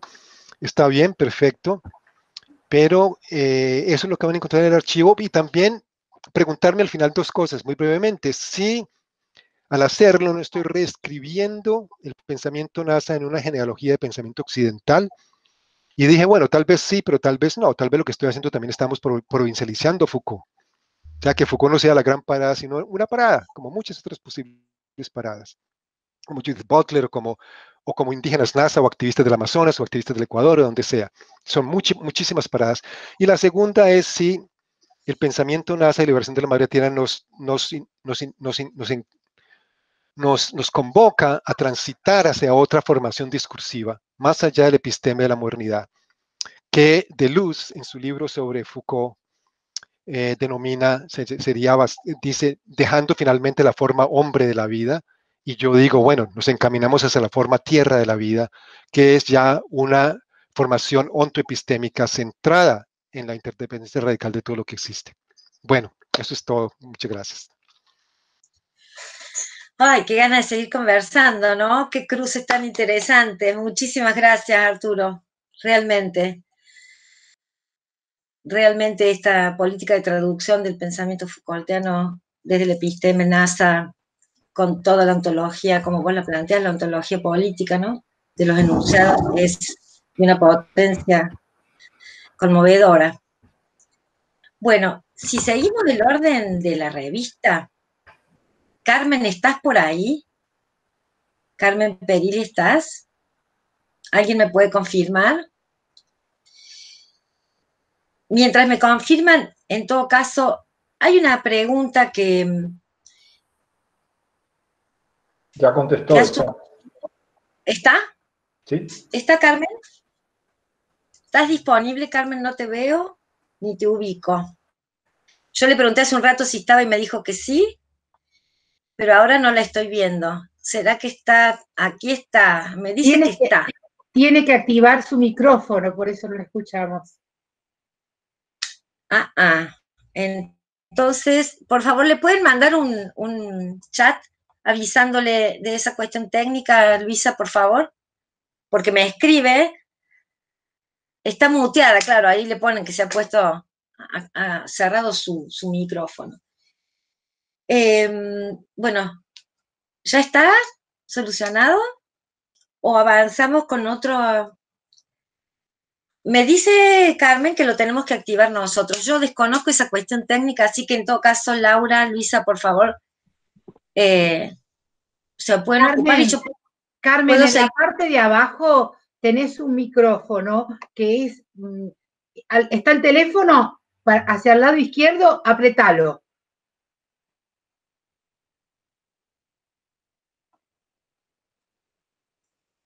Si no, Luis seguir con otro autor o autora para ir dialogando hasta que Carmen logre tranquila volverse a conectar. Es que no estoy pudiendo activarlo, estoy intentando, pero no estoy pudiendo. Ok, entonces voy a seguir para que no, no apurarle a Carmen, que no está pudiendo eh, resolver la cuestión técnica y, y es mejor que lo hagamos tranquilos y sigamos el diálogo hasta que ella pueda estar en línea. Hay una cuestión importante, me parece, de varios trabajos de de los presentados en este número, Ana Lefta, si está por ahí, es uno de sus textos en la que, junto con, el texto de María Emilia Tijoux, plantea la cuestión de la otredad, en el caso de María Emilia lo plantea la racialización, ¿no? la subjetivación dentro del macro proceso de racialización, ella lo trabaja en el caso chileno, de qué manera la narrativa del Estado-Nación hace de las siete naciones llamadas las migrantes, eh, ese otro que en este contexto de pandemia es el cuerpo argumento del contagio. Una pena que María Emilia no esté, pero me parece que hay una, una, beta ahí de la otredad, que sería como la antípoda de esta relacionalidad radical de la que hablaba Arturo. Ahí está Carmen. ¿Estás bien, Carmen? ¿Estás pudiendo? Veo tu micrófono todavía cerrado. Bueno, vamos a seguirle esperando. Lo que estaba queriendo plantear es que hay un eje eh, que podemos llamar casi una isotopía, una tópica que recorre y una preocupación que recorre varios textos, como el de María Emilia, pero también el de Ana, Ana Levstein, que tiene que ver con ese otro excretado, pero no de la narrativa del Estado-Nación, sino de la especie humana directamente. Es decir, el que está expulsado de la condición humana. Una otredad radical, por eso digo el otro extremo de la interrelacionalidad que planteaba Arturo. Y entonces, Ana, que te estoy viendo y si estás conectada bien con tu micrófono, me gustaría que compartieras, bueno, lo que quieras de tu texto, pero a mí como lectora, y además porque sigo tu trayectoria hace muchos años, siempre me sorprende y hasta conmovedoramente tu capacidad de pescar siempre, de arrojar la mirada siempre sobre ese borde casi obsceno de lo que no se ve, de lo que está fuera de los discursos de sus regímenes de visibilidad, cómo es esta vida nodina, Foucault lo llamaría un infame estrictamente, pero donde vos reflexionás ahí acerca de esa construcción del otro excretable, del, todo social, donde ni siquiera hay posibilidad de disponer del tiempo de mi muerte. Eh, bueno, te agradezco tus palabras y este, agradezco las palabras de todos hasta el momento. Me, encanta la presentación de la revista. Por supuesto, la invitación que me, me honra y me, me puso el envión que necesitaba para ilvanar algunas reflexiones que hacía eh, tiempo que, venía tejiendo mentalmente y tenían que ver con esta coincidencia de el, momento en que Víctor Hugo Saldaño este, es condenado a muerte. El crimen fue cometido en el 95, o sea que pronto en noviembre van a ser ya este, 20 años que él pasa al corredor de la muerte en una especie de, espera eterna, este, durante la cual, eh, digamos, definido por su propia mamá, Lidia Guerrero, que salió el año pasado en televisión, este, contando la, situación judicial de su hijo, dice que lo definió como un muerto en vida. Entonces, este, este umbral, este entre entre la vida y la muerte, y esta especie de, como bien dijiste, eh, una manera de excretarlo del cuerpo social, de desrealizarlo, deshumanizarlo, eh, coincidía justamente con el último seminario de Derrida al que yo pude asistir, este, que fue justamente en el año 2000, sobre precisamente la pena de muerte. De allí que, bueno, este, estas coincidencias que no me parecieron tanta casualidad, me hicieron pensar en la eh, en esta decisión de Derrida de, tomar la pena de muerte como arquetipo de toda decisión. Y em, la muerte en un sentido que, más que ser un exterior que se añade, digamos, se sobreañade o como un accidente de la vida, eh, ya está desde el inicio en una economía de la muerte, donde lo que se, justamente lo que se desarrolla y se trata de preservar es la vida y en eso la, elección de la muerte propia es clave. Entonces, cuando un sistema penal eh, hace coincidir el máximo de la fuerza y la violencia con el máximo del derecho, es como una muerte del derecho, es un, exceso del derecho sobre la justicia y donde a la justicia ya sin horizonte de salvación y de hospitalidad y de arrepentimiento y de rehabilitación no le queda absolutamente nada por hacer. Entonces, lo que yo traté de, de armar en el, en el, artículo, que quiero sobre todo subrayar que también es un logro colectivo, porque el año pasado, en el marco del Seminario de Nuevas Subjetividades, dedicado a estudiantes de comunicación y de letras, cuando Lidia Guerrero, la mamá de Víctor Hugo, aparece en un noticiero, bueno, surgió toda una cuestión, nosotros veníamos trabajando eh, existencias menores y muertes menores de, la PUJAD, con lo cual, este, bueno, se organizó un ciclo de cine debate, una serie de grupos de lectura que después se interrumpieron, por cierto, con la pandemia, muchos de ellos, pero este, queda esta cuestión de seguir trabajando en el tema y, em, bueno, el, ensayo que, eh, digamos, que trate, que trate de plasmar, digamos, en, en heterotopías, tiene que ver con esta idea eh, muy derridiana, digamos, que recorre buena parte de sus textos, donde la muerte viene a ser aquello que suspende la, este, em, que suspende la, diferencia entre dar y quitar. Y es que solamente en su nombre, en nombre de la muerte, este, toda experiencia del dar quitar que queda, digamos, suspendida por la muerte, es solamente eh, la muerte lo que puede suspender eso. Con lo cual, al existir la pena de muerte y al, suspender con una decisión humana eh, aquella experiencia que solo la muerte misma suspendía, ¿qué se produce, digamos? La eh, combinación de lo que, refiriéndonos a lo que decía Arturo hace un rato con relación a Foucault, esta eh, especie de muerte de la muerte propia, o muerte de la muerte, o deuteromuerte, donde se instala, por ejemplo, en el cuerpo de Víctor Hugo, una ley que hace morir, como el poder soberano, según Foucault, pero que a su vez también lo deja morir en esta larga espera de prácticamente un cuarto de siglo, como el biopoder, de manera que es el máximo de la fuerza y de la violencia con el máximo de la letalidad eh, consagrada por derecho. Con lo cual, digamos, eh, es un exceso del derecho sobre la justicia, cuando en realidad lo que viene planteando Derrida en Fuerza de Ley o en Espectros de Mars es que la, la situación, la lógica debiera ser justamente al revés. Por lo tanto, digamos, bueno, nihilismo, escepticismo, parálisis, paroxismo de odio hacia la raza humana y también hacia todo el tejido de lo, de lo vivo y de lo no vivo que sostiene lo humano. Con lo cual, digamos, este arquetipo de decisión que es la pena de muerte sirve, y ese es uno de los trampolines que ensayo en el, en el ensayo, el pleonasmo, para pensar en los ecocidios o en otras, en otras penas de muerte que no vemos, por eso el artículo se llama así, este, donde la, digamos, esta, suspensión de la experiencia del dar quitar, ya sea empleo, un plato de comida, salud, eh, una cama en un hospital y en un, un respirador ahora con la pandemia, se convierte un poco en la parte como empírica, condicionada de este don no fenoménico e incondicionado que se da, eh, digamos, en todos los textos derridianos como una negociación de la violencia menor. Entonces, eso es un poco, en resumidas cuentas, lo que yo trato de, de desarrollar allí. Muchísimas gracias, Ana.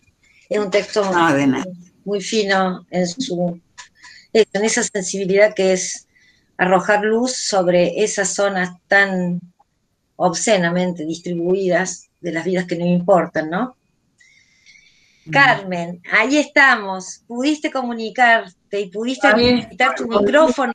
Fui, volví. Sí, sí, fui y volví con grandes indicaciones en el chat. Bueno, bueno, bueno me, alegro que estemos, sí. ¿Vos a nosotros sí? ¿También? Bárbaro. perfecto. Bueno, con, eh, el bueno, artículo precioso de sí, pasa, dale. ¿Qué? Bueno, mi trabajo en realidad eh, es un pedazo, pues yo vengo trabajando, o sea, eh, yo, mi, mi, especialidad es la literatura latinoamericana, americana, afro, indoamericana, como ya se quiera llamar, pero en realidad fundamentalmente diríamos, yo lo ampliaría el concepto más bien los estudios latinoamericanos. Y no estoy trabajando, eh, estoy coleccionando una serie de vidas de mujeres que han quedado por fuera del relato revolucionario. Cuando yo me refiero imaginario, en todo caso revolucionario, del siglo XX. He trabajado con la figura de, de, de Celia Sánchez Manduley, en Cuba, he trabajado con la figura de Tina Modotti en México y, eh, bueno, con otras, con las anarquistas argentinas. O sea, estoy tratando de ver en un conjunto de textos cómo aparecen estas figuras, en muchos casos ignoradas o colocadas en un margen, nominadas a partir de, en general, algún eh, sujeto varón. Y en ese trayecto, en ese recorrido, me he encontrado con una figura muy extraña, que probablemente algunos de ustedes conozcan, que es Sibila Arredondo. Sibila Arredondo es una chilena eh, que participó activamente, participó en la guerra interna peruana. Eh, y estuvo en la cárcel durante 15 años como en su condición de, eh, de dirigente de Sendero Luminoso. A mí lo que me pareció interesante es un personaje muy difícil, porque más allá de una gestualidad, habla muy poco del de la acción, digamos, sino que más bien trabaja, eh, su vida se narra fundamentalmente a partir de la prisión. Es un caso paradigmático en el sentido de esas prisiones muy largas de donde es trasladada a distintas cárceles, incluso está en, la, en Canto Grande cuando se realiza la masacre que Fujimori desde el cielo ordena, eh, eh, tirar a la cárcel, ¿no? Bueno, eh, entonces he tomado una serie de, de, textos, y por eso se llama Relato en Familia, porque Sibila, que pertenece a una clase media casi alta, digamos, de que el padre era uno de los fundadores de LAN y la madre una escritora en el sentido de esa escritora de sociedad de escritores, muy amiga de toda el mandarinato chileno de Pablo Neruda, eh, y bueno, y un poco manejándose en los circuitos oficiales de la cultura progresista, este es Matilde Ladrón de Guevara. Eh, bueno, Sibila nace ahí y primero, eh, su primer matrimonio es con un, con un, gran poeta chileno que es Jorge Tellé, y posteriormente, después de otras relaciones, se casa con José María Arguedas. Eso la lleva al Perú, y ella en el Perú sufre como una suerte de transformación, de adhesión a la cultura andina, y la lleva también a una adhesión política a los grupos de, eh, los luchadores por la, de la guerra popular. En realidad, eh, cuando esta segunda parte sucede, eh, ya se ha suicidado, porque Arguedas no vive con ella más que seis años, a pesar de que ella insiste en llamarse Sibila Arredondo de Arguedas por pedido de él su carta póstuma. En la carta que le, que le deja cuando se suicida. Arguedas se suicida en la universidad. Eh, un lugar medio poco alegre para visitarse. Pero bueno, eh, Sibila recibe una carta que le piden dos cosas. Una, que mantenga su nombre, el nombre del marido, y la otra, que no se vaya del Perú y que siga luchando por la cultura peruana. Eh, Sibila se queda en el Perú, es curioso porque en realidad uno observa una especie de transformación incluso del semblante y en general de todo, todo el cuerpo de Sibila en una especie de personaje que cuando uno ve cree que es una peruana. Eh, es, eh, entonces yo he trabajado fundamental, ella es apresada y permanece durante 15 años en la cárcel en tres ocasiones y la última ocasión ya directamente eh, permanece hasta el, 2000, hasta el 2002. Eh, es interesante el hecho de que su, eh, digamos, yo tengo dos corpus de textos sobre Sibila, además de un montón de artículos de diario, por supuesto una figura muy controvertida, demonizada por un lado, por el otro lado eh, también suscita afectos de todo tipo, o sea, se, se, hay un debate de versiones sobre la figura. Eh, ella lo único que va a reconocer en todo el juicio es su participación en algo que se llamaba Socorro Popular, que era el, el organismo de apoyo de Sendero Luminoso. Eh, cuando Civil entra a la cárcel, nos encontramos con dos tipos de textos. Dos libros escritos por la madre, que comienza una ardua militancia internacional dentro de la comunidad eh, intelectual eh, por las libertades civiles, una se llama Civil en Canto Grande y la otra por ella, Civila, eh, textos híbridos, testimonios, que sobre todo están haciendo hincapié en su condición de presa. O sea, es como que la condición de presa pasa como a un hace pasar como segundo lugar su condición de, militante, ¿no? Por un lado, por el otro lado, tengo, eh, digamos, ya en un futuro, digamos, digamos, eso sería en el presente de la prisión. Eh, esta mujer escribe estos textos que circulan, circulan por toda América Latina, y consigue adhesiones y reproduce cartas cartas, discursos, habla con presidentes, incluso con Fujimori. Y por otro lado tengo una película que ha realizado su sobrina, Teresa Redondo, hija de un hermano de Sibila, que la perdió de vista Sibila en la infancia. Esta, esta película, que tuvo muchos premios internacionales, es un documental, eh, donde eh, Teresa comienza eh, buscando a Sibila, como que está buscando explicarse quién es esa tía sobre la cual se cierne un silencio familiar muy fuerte. Ese silencio es explicable también porque la mitad de la familia de, Teresa es peruana, el padre, el hermano de Sibila se casó con una peruana y la otra mitad es chilena. La mitad peruana no quiere saber nada de Sibila ni de Sendero Luminoso y la mitad chilena es un poco la que es mucho más favorable. Ahí comienza toda una indagación de parte de Teresa para descubrir, digamos, la pregunta sería quién era Sibila y qué, por qué tanto silencio.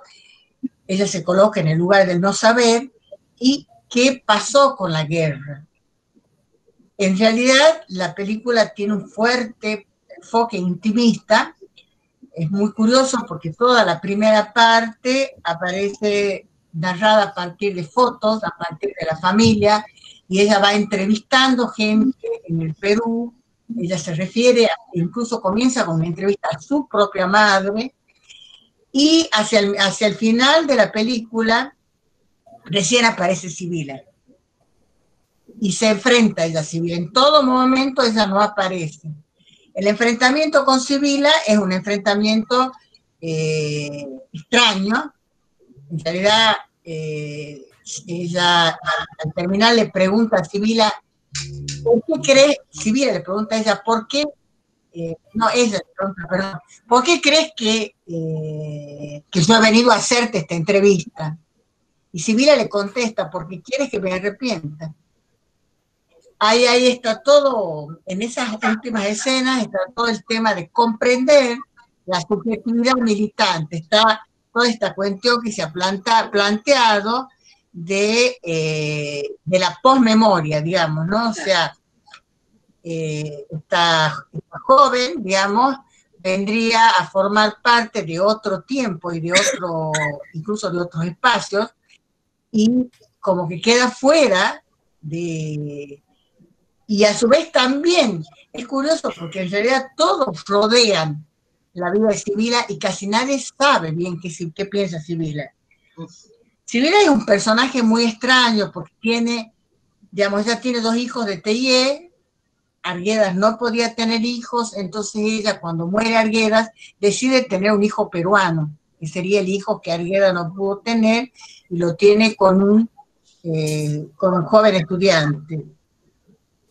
Y hay toda una, una mistificación del Perú al punto que ella, después yo conseguí un largo, una larga entrevista a ella y tomé un poco como, a, como plantear Fuchs la entrevista como una autobiografía, donde ella dice, ella habla un poco de, de esa identificación tan fuerte que ella siente con el Perú y cómo se separa totalmente de Chile, al punto que su familia, cuando se produce la, el pinochetismo, se produce el golpe de Pinochet, está en Chile y tiene que huir, pero ella dice no sentir tanto el golpe, es como que ella es como un personaje muy extraño que no se lo que no lo que nunca habla su militancia y su forma como un colectivo con las mujeres en la cárcel donde todo rescata esa idea de sendero de la trinchera luminosa, que era un poco algo que se mandaba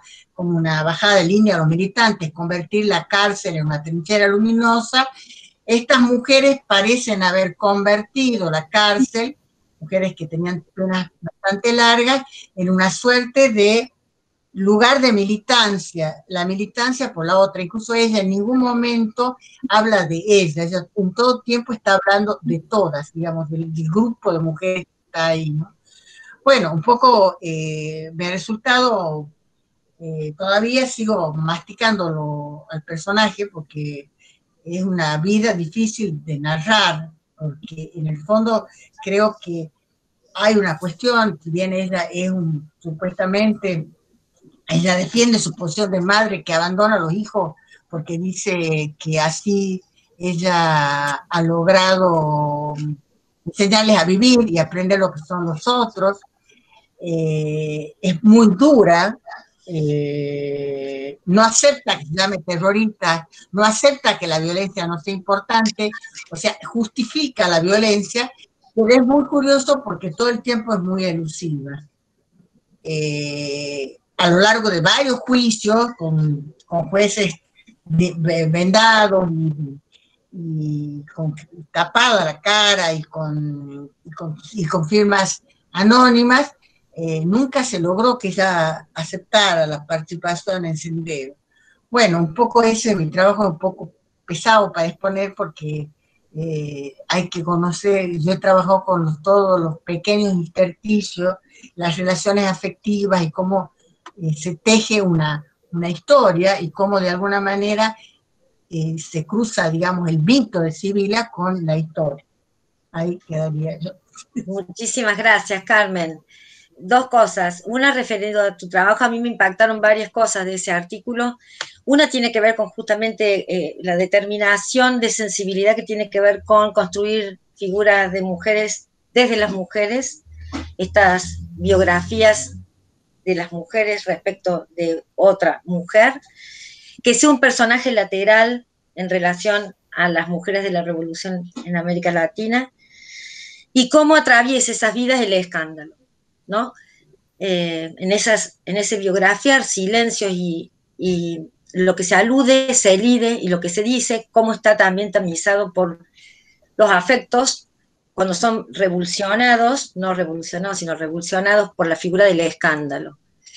Y, también me parecía muy interesante pensar, como vos decías, por la post, eh, la postmemoria, la, que yo llamo la memoria post-dictadura, que es de qué manera la violencia armada ha sido como una, marca eh, que nos ha construido un prisma para poder o no hablar de ciertas figuras y ciertas prácticas de violencias armadas que tienen su densidad sociohistórica, ¿no? una densidad semántica y política, y, y que opera casi como una suerte entre el prisma y el tabú, ¿no? Me han dejado como esos lugares para revisar, releerte y, revisar ciertas cuestiones de la literatura post experiencias de la violencia armada en la política, porque de violencias estamos atravesados y atravesadas, ¿no? En todas sus formas, en un contexto como el actual, donde a lo mejor es más económico prender fuego países enteros que hacer lucha armada. Así que me ha dejado también muy movilizada y te agradezco especialmente eh, tu escritura y tu, la seriedad y las ganas con las que nos dijiste sí para publicar en este número. Muchísimas gracias. Bueno.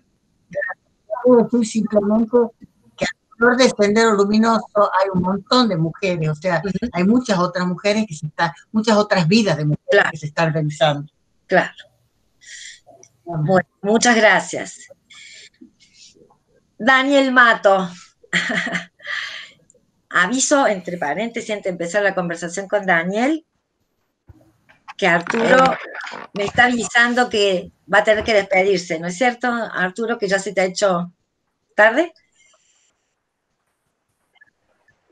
Después de la presentación de Daniel, y en realidad es más que todo que estoy cansado, tengo hambre, y estuve en una, en una, sesión tres horas antes de esta. después de todo somos cuerpo. Estoy mamado, exactamente, somos cuerpo. Bueno, muchas gracias por, la, por, por, domesticar el cuerpo un rato más. Daniel Mato. Bueno, con Arturo y Daniel hemos compartido muchos años desde eh, cultura, Poder y Política de LASA. La contribución de Daniel fue e, para este número en la zona de debate en un texto que tengo el título aquí, ya lo, ya lo activo el celular, pero que medularmente trabaja la cuestión de la extensión universitaria, sus diversas formas de ser nombrada en las prácticas de nuestras universidades públicas, apoyada en una larguísima experiencia de investigación eh, de terreno, ¿no? Es decir, con muchos la extensión universitaria y otras modalidades de vinculación social como fuentes de aprendizaje para transformar las universidades. es el texto que compone Zona de Debate junto con el de María Emilia, que como decimos, no ha podido estar con nosotros. No sé, Daniel, si preferís vos hacer algún comentario. Yo tenía como dos focos de interés, pero que pueden ser dichas después o no, según eh, qué ganas tengas vos de hacer referencia al porqué y el para qué de ese texto. Y después, si queda un minuto, te haría esas preguntas y si no, eh, lo que vos quieras. Eh, yo no sé si estoy en pantalla. Yo te veo. Ah, es muy raro todo esto, no lo entiendo, pero no importa. Qué bueno. Sí, Eh, sí, qué, suerte, qué suerte tienen. Habrá cerrado Bueno. algo sin querer, como yo recién me hice eso a mí misma hace un rato, pero después pude volver a darme visibilidad. Bueno, eh, bueno, a- ante todo, muchísimas gracias por la invitación a participar en el número de la revista y también a participar en este encuentro con tanta gente que no conocía, ahora eh, teleconozco, pero sobre todo la oportunidad de volver a verte, Mirta y Arturo, que hace tiempo que no los veía, sobre, no sé, no me acuerdo ahora cuántos años, porque ambos los vi en Buenos Aires. Eh, bueno, a- agradezco mucho las dos invitaciones. Eh, la invitación al número, mi, texto tiene poco que ver, creo, con el resto de los textos de- del número de la revista.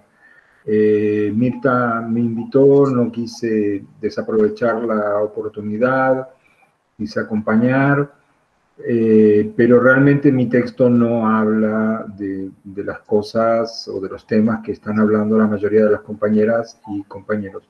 Habla específicamente de cómo no solo tenemos un par de siglos, en realidad un siglo, porque siempre cuentan el tiempo en las universidades, sobre todo en las universidades públicas argentinas, desde la ilustre reforma de Córdoba, entonces tenemos nada más que 102 años de que la extensión exista, pero bueno, ya se ha dicho muchas veces, la figura no es mía, como cenicienta de las funciones universitarias. No es accidental, tiene que ver precisamente eh, con la, la primacía del logos académico eh, y del trabajo de reproducción docente, y no estoy hablando solo de Argentina, sino de América Latina en general, a partir de la década de los 60, por insistencia del BID y, eh, y el fortalecimiento de los organismos nacionales de ciencia y técnica, la potenciación del lugar de la investigación en las universidades públicas. Eh, la llamada extensión universitaria, mm, denominación que muchos, incluso yo tomándola en parte como tema, cuestionamos, porque da por supuesto que la universidad extiende sus saberes hacia afuera, eh, la llamada extensión universitaria, según tradiciones de distintos países y universidades, incluyó desde actividades llamadas culturales, entiéndase musicales, de danza, a veces de cocina, como gran cosa, digamos, como yendo más allá de la música y de la danza, eh, no pocas veces el ballet y no la danza, eh, muchas veces la música llamada clásica y no las músicas locales. En fin, hemos evolucionado un poquito, esas cosas han mejorado, pero eh, todavía, aunque en varios países hemos avanzado mucho en esta materia, está esa impronta. Pero además, las universidades desarrollan muchísimas otras actividades con distintos sectores sociales. Además de esas que se hacen desde lo que en Argentina se llaman secretarías de, extensión, en otros países se llaman proreitorados o vicerrectorados o direcciones o lo que sea. Además de esas actividades, muchas cátedras, muchos departamentos, muchos equipos, eh, pluriunidades, desarrollan otras actividades hacia afuera de las universidades. Actividades que generalmente se desarrollan contracorriente, contrapelo, sin contar con el apoyo económico que cuentan otras universidades, perdón, otras actividades de las universidades, eh, sin poder las o los docentes eh, computar el tiempo dedicado como parte de su dedicación, sin poder las y los estudiantes computar eh, el tiempo utilizado y los aprendizajes efectivamente realizados como parte de su formación. Poco a poco, de todos modos, hemos venido avanzando, particularmente en Argentina, con la creación de la REXUNI, la red de extensión universitaria del Consejo Interuniversitario Nacional, se ha logrado poco a poco que este tipo de actividades tengan algún valor. Pero a lo que todavía no hemos llegado en general, ni en Argentina ni en otros países, no es a que tengan la importancia que yo pienso que tienen, y de lo cual nos dio un ejemplo, por ejemplo, no sé si está conectada en este momento, la exposición de Yanina o nos da un ejemplo la exposición de Arturo. Me refiero a cómo esas actividades que desarrollamos con otros sectores sociales, digamos, fuera de la academia, fuera del sistema de ciencia y técnica y fuera de lo que eh, suele fomentarse, que es la relación con los sectores productivos, que siempre terminan siendo las empresas, no los... Eh, no la gente, digamos, de lo que se ha dado en llamar la economía social, no las cooperativas, no, las organizaciones indígenas o campesinas o afro-tradicionales. Bueno, en esas actividades, y es lo que yo he documentado en los estudios a los que hacía referencia Mirta, eh, en esas actividades las y los estudiantes aprenden mucho. Esto no es una opinión, esto es, digamos, recogido en este caso particularmente a través de entrevistas semiestructuradas a responsables de 200 equipos universitarios de creo que 39, no me acuerdo bien, de las por entonces 55 universidades públicas argentinas, porque esto lo hice en el 2011-2012, ahora hay 60 universidades públicas. Eh, los estudiantes, las estudiantes aprenden mucho, aprenden diversos tipos de conocimientos, de destrezas y sobre todo aprenden a poner a prueba lo que habían, no sé si decir aprendido, o les habían transmitido en las aulas, a ponerlo a prueba, a ponerlo en conversación, a ponerlo en diálogo con, no me acuerdo qué compañera decía que todavía usaba la palabra realidad, yo a veces también, digamos, con, con esa otra realidad que ocurre afuera, también aprenden a trabajar interdisciplinariamente, también aprenden, sí, a vincularse y comprometerse afectivamente al interior de los equipos y con la gente con la que trabajan. Ese también es un aprendizaje muy importante. El otro día me pidieron un texto eh, para un libro sobre trabajos con la comunidad de una licenciatura en psicomotricidad de la universidad en la cual yo estoy, en la y, justamente como era un equipo de psicomotricidad, eh, se hacía mucho énfasis en los textos que leí en el encuentro de los cuerpos, en atravesar los espacios y en los encuentros afectivos, cosas que no necesariamente encontramos cuando leemos algún tipo de crónica de gente de agronomía, pero que igual tiene mucho valor, ¿no?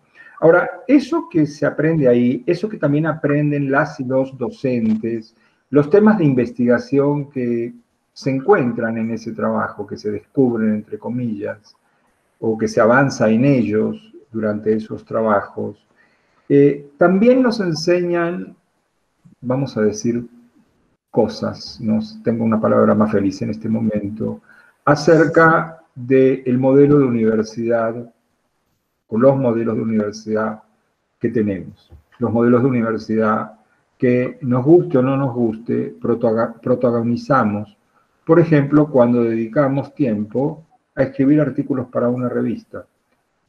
Y esto, de un modo u otro, tiene algún tipo de reconocimiento en la academia, depende de las distintas academias, mayor que el tiempo que podríamos haber dedicado a estar en territorio, por ejemplo. Ahora, ¿perdemos el tiempo cuando estamos en territorio? ¿Solamente aprendemos aquello que vamos a incorporar en un artículo de investigación o aprendemos acerca precisamente de cómo se da la relación. Cuando hablamos, a mí no me gusta el término de diálogo de saberes, los saberes no dialogan, dialogan personas. Decir diálogo de saberes invisibiliza actores. Yo prefiero hablar de relaciones de colaboración interculturales por definición, cualquiera que sean los actores, eh, interculturales respecto de la cultura universitaria, de la cultura académica en ese sentido, además de que puede haber diferencias de otro tipo. Cuando construimos esas relaciones de colaboración, ¿qué aprendizajes se realizan respecto del modelo de universidad que tenemos? ¿Qué aprendizajes se realizan respecto de qué es lo que se aprende en terreno y qué es lo que, supongamos, se aprende en un aula de clase. Ahora que digo esto específicamente, supongamos se aprende en un aula de clase, me acuerdo de una expresión que a mí me ha gustado desde que la, ya no me acuerdo si la leí o la escuché hace muchísimo, del gran teatrero y activista cultural brasilero Augusto Boal. Augusto Boal, que hizo mucho trabajo teatral en, fuera de salas de teatro, dijo alguna vez, eh, teatro se puede hacer en cualquier lugar, hasta en una sala de teatro. Y yo tomo esa frase para decir, se puede aprender en cualquier lugar. hasta en un aula, me cuesta más decirlo, pero bueno, sí, también en un aula se puede aprender, supongamos. Ahora bien, aquello que aprendemos, ¿qué dispositivos tiene la universidad para que sirva para algo? Tenemos dispositivos de registro, tenemos dispositivos de circulación de esos conocimientos, es decir, al decir dispositivos en este caso, me estoy refiriendo no solo a instrumentos de registro, sino tramas comunicacionales al interior de la academia para que esto produzca algún efecto. Porque el tema es que mientras no los tengamos, ocurre lo mismo que ocurría hasta hace muy poco, por suerte ha cambiado en casi todos los países latinoamericanos, con las poblaciones indígenas y afro y los censos nacionales. No, no hay indígenas, no están en el censo, ¿cómo va a haber? Claro, pero si no preguntaste. Y lo mismo ocurre en la universidad. La, con este otro tema, también con los afros y los indígenas, que en particular en las universidades argentinas no están visibilizados estadísticamente. Pero yendo a este tema en concreto, ¿hay algún instrumento que nos permita saber qué se aprendió? Cada equipo hace algo, pero ¿hay alguna suerte de registro institucionalizado que permita poner en valor todo eso y además aprenderlo y además que nutra la transformación de nuestras universidades para que dejen de tener este formato que todavía tienen hasta las mejores, las mejores en el buen sentido de la palabra, eh, no me estoy refiriendo a Chicago, eh, quiero decir eh, que en definitiva son formatos parchados de modelos institucionales que tienen uno, dos o más siglos y en realidad tienen como 12. Como modelo institucional los hemos ido parchando, los hemos ido remendando, mejorando un poquito, pero en definitiva son como un traje viejo remendado que nos queda un poco como así y nos movemos siempre a contracorriente para poder dar medio paso. Entonces mi insistencia en ese texto es en poner esto a la vista. Ese texto en realidad es una versión un poco transformada de una conferencia que di en las jornadas de extensión universitaria que se hicieron en la Universidad de Jujuy, creo que en diciembre del 2019, cuando todavía circulábamos. Este, y es solo eso, es, es, un texto muy breve, hay textos míos más extensos sobre el tema, pero en este el eje está en que no aprovechamos eso, en que las universidades no lo aprovechan, no solo no lo valoran, no lo aprovechan, y en que mientras sigamos sin verlo va a seguir despreciándose su valor y las universidades van a seguir repitiendo este esquema en, espacios concretos, con comunidades, es lo que a mí más me interesa, generalmente comunidades indígenas, afro, comunidades rurales, es a lo que yo me dedico, pero vamos a seguir sin aprovechar eso, vamos a seguir sin hacer aprendizajes situados en la práctica y para la resolución de problemas. Es la oportunidad que estamos perdiendo. La Universidad Nacional de Córdoba es la más antigua del país, por más que se esfuerce, los remiendos le cuestan mucho más que a otras más nuevas. Eh, entonces aprovecho la oportunidad para pasar el comercial y a ver cómo sumamos fuerzas. Muchas gracias. Gracias, Daniel. Eh, esto me tranquiliza porque Menos mal. en realidad te leí tranquilamente porque te conozco hace muchos años y sé justamente los territorios en los que has trabajado, así como Arturo también.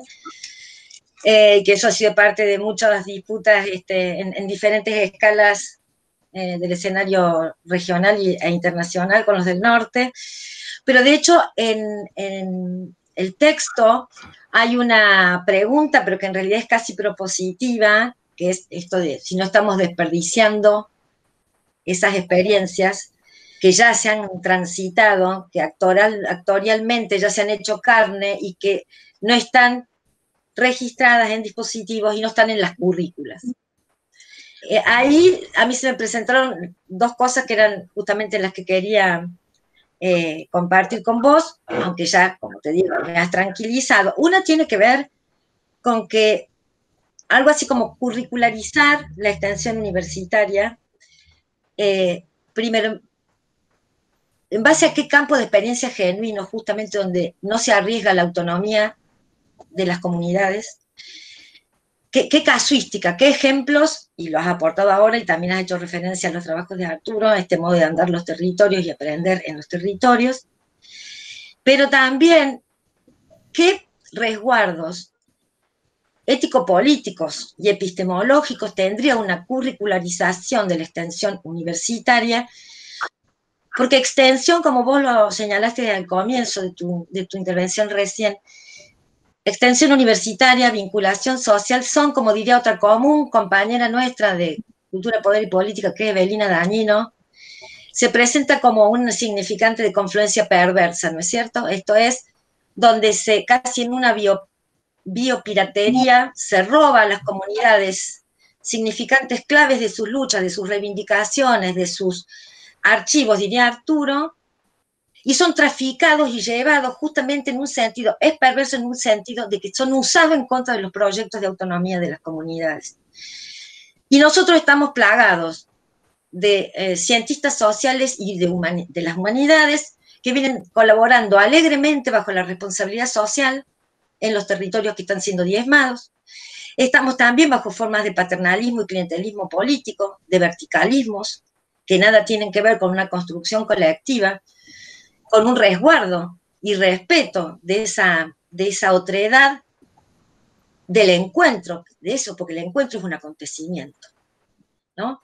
Digo, ¿qué resguardos, bajo qué protocolos, bajo qué premisas, o como lo podamos nombrar, de resguardos ético-políticos y ontológicos, se puede llegar a una curricularización de la extensión universitaria bajo sus formas distinta de ser designada, como vuelvo a trabajar en tu artículo, que garantice justamente que no va a ser usado en contra de la autonomía y el respeto a las comunidades. Esa es una pregunta que me invade. Sí, eh, la comprendo. La pregunta está hecha precisamente desde ver cómo parchamos la universidad, que es lo que creo que no hay que hacer. Eh, no, no hay que parchar la universidad. De hecho, el título de un texto mío sobre este tema eh, dice algo así como la vinculación social, no, es el título, pero ahora me gusta ponerlo así, como palanca para la transformación de las universidades. Mm. Y yo digo la vinculación social, yo no utilizo en general el término extensión, lo utilizo porque la gente de extensión es eh, la que, digamos, es más receptiva a, esto y porque hay mucha gente, ha sido uno de los artículos míos sobre el tema, eh, me puse a mapear digamos, las resignificaciones y reapropiaciones y transformaciones del término. Entonces hay gente que dice extensión social de doble vía, extensión social de nuevo tipo. Hay gente que dice que en vez de extensión social, mejor investigación, acción participativa. Hay gente que dice diálogo de saberes. Hay gente que dice colaboración. en fin, hay un universo de, de denominaciones que no son solo denominaciones, son conceptos de trabajo. Yo nunca dije curricularización de la extensión, lo dijiste vos. Así es, pero Muy quería bien. forzar la argumentación. Y ese, ese es el parche. Ese es el parche. Además, es desde luego la propuesta de un sector importante de la gente que trabaja en extensión. Yo no estoy proponiendo curricularización de la extensión, yo estoy pro- proponiendo transformación de las universidades.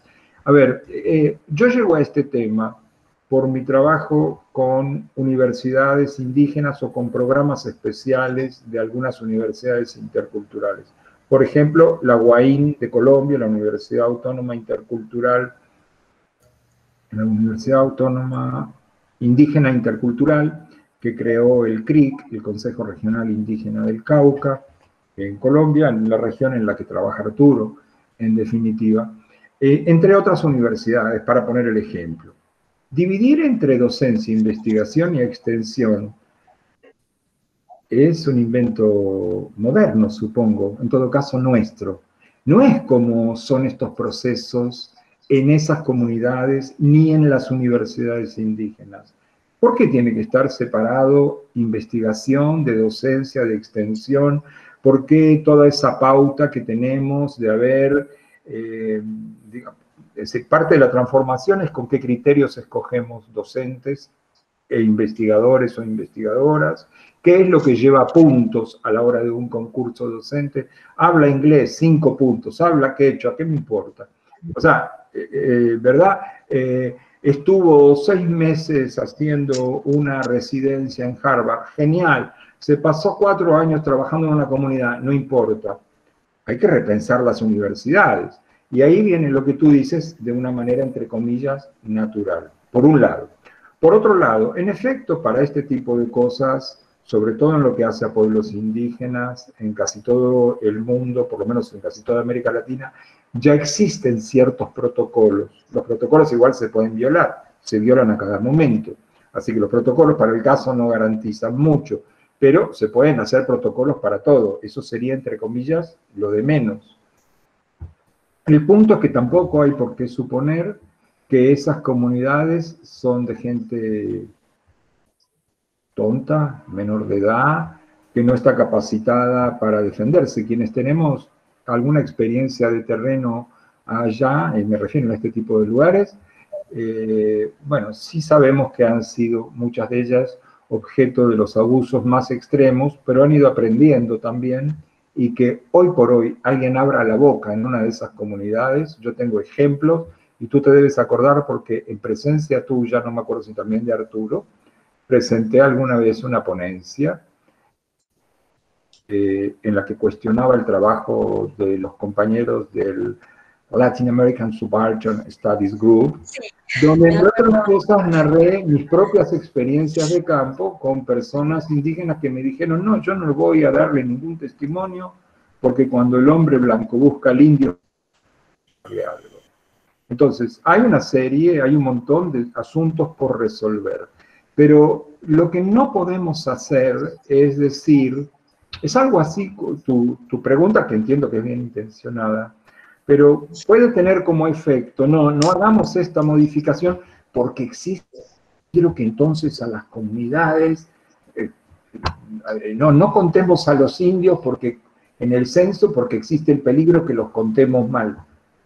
Bueno, están reclamando ser contados.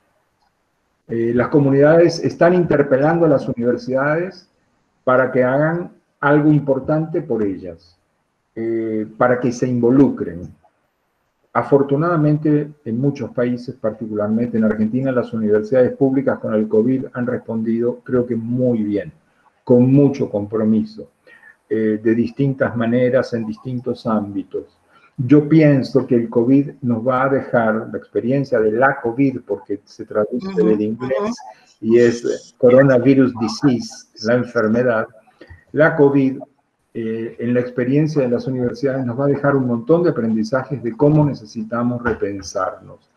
Creo que no pasa el asunto por la curricularización de la extensión como, o sea, me parece muy bien que hay gente que lo reivindique, creo que eso es mejor que nada, pero no es de lo que yo estoy hablando. Yo de lo que estoy hablando es de que tenemos que repensar las universidades y que las experiencias de trabajo con, no sobre, Las experiencias de trabajo con distintos actores sociales nos enseñan mucho. Y la veo a, a Yanina, que está en pantalla, que antes no la veía, yo había mencionado, no sé, Yanina, si estabas cuando lo dije, por ejemplo, el trabajo en cárceles, que ya mencionaba. Es decir, ¿qué nos está enseñando eso? No solo de la vida de estas mujeres, sino de las limitaciones de las universidades para hacerse cargo de estos desafíos. En el caso del ejemplo de Arturo, ¿para qué nos están sirviendo las universidades respecto de esos problemas que Arturo está señalando? En, el ejemplo, en los ejemplos que daban los compañeros que hicieron las traducciones, parece mentira que todavía eh, no estemos haciendo proactivamente lo que los compañeros plantean. Bueno, ¿por qué cuando traducimos del francés es de Francia o de Quebec, pero no, por ejemplo, de Martinica? No, no, es que nada más tendríamos que estar traduciendo de Martinica a esta altura de la vida, o de países africanos de habla francesa, o de sectores excluidos en la sociedad francesa o en la quebecoa para el caso también. Eh, a mí me, acaban de traducir un texto mío, un texto que escribí que, ha circulado mucho, que se tradujo primero al inglés, ahora se acaba de traducir al portugués, que es el caso George Floyd y el racismo en los sistemas e instituciones de educación superior. Fue muy interesante, me contacta un proyecto del área de extensión de la Universidad Federal de Río Grande do Norte me contacta para solicitarme autorización para traducir el texto al portugués, ponerlo en el sitio web, que lo han puesto, y es muy interesante lo que aprendí en, la conversación con la compañera de Brasil, que a la sazón es salteña. Este, yo, me esforzaba en escribirle en portuñol y ella me dice, no, tranquilo, yo soy salteña, pero vivo acá hace 20 años. Este, este proyecto, y como este debe haber 5 millones, pero yo no los conozco, es un proyecto de traducción. Es un proyecto de traducción, te va a interesar Arturo, al que se llegó como un acuerdo entre gente de antropología y de letras. El, el proyecto se llama Recanone, por re, de rehacer el canon, en este caso de la antropología traduciendo del inglés, del francés y del castellano al portugués y al guaraní, como lengua de varios de los pueblos indígenas en Brasil, también en Argentina, Paraguay, sectores de Uruguay y de Bolivia. Eh, es muy interesante y es muy interesante ver los textos que han traducido. Hasta ahora pocos, es un proyecto relativamente nuevo, me da la impresión, creo que tienen solo 10 traducciones, porque el énfasis está precisamente no en traducir eh, aquello que podríamos llamar hegemónico, sino otras cosas. Entonces, esto que los compañeros de traducción, César, uno de ellos, el otro no me acuerdo el nombre, mencionaban, que se plantean, es un aprendizaje hecho, en este caso en terreno, en el terreno de la traducción y en el terreno del blog, porque además el compañero hacía énfasis precisamente en esta escritura de blog como una escritura diferente, digamos. ¿no? Eh, ¿Qué es lo que estamos aprendiendo? Eso que el compañero aprendió, es lo que yo justamente comento en el artículo, termina comentándose en una reunión como esta, que con un poco de suerte, ahora que la grabamos, la va a ver mucha gente. Tal vez no, no sabemos. De todas maneras, Dani, quería decir. Quiero, quiero, redondear esta idea, un minutito. Redondear, redondear esta idea. Dale. Eh, esto lo comenta en este espacio, o lo comenta en una reunión de departamento o se para en una asamblea arriba de una silla y lo grita. Ah, pero la universidad tiene algún dispositivo para que él le entregue a la institución ese feedback. No, justamente no tiene ese, esa, esa ansiedad, estoy hablando de la institución, no estoy hablando de nuestros amigos dentro de una institución, de la gente, de eso que por hoy, hoy llamaron la progresía, creo de la progresía dentro de la universidad, que estamos todos atentos a eso, sino lo, que, lo interesante es que se enteren los otros sectores.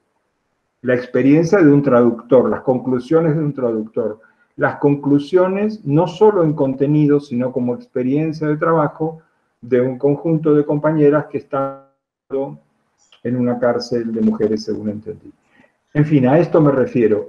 Tenemos que conseguir, así como se ha conseguido que los censos cuenten, lo voy a decir así a propósito, negros e indios, lo digo así a propósito, provocadoramente, tenemos que conseguir que las universidades se den procedimientos no solo para decir, uy, la extensión es importante, sí, le vamos a aumentar el presupuesto del 0,5%, y también la vamos a curricularizar. Sí, dale, está bien.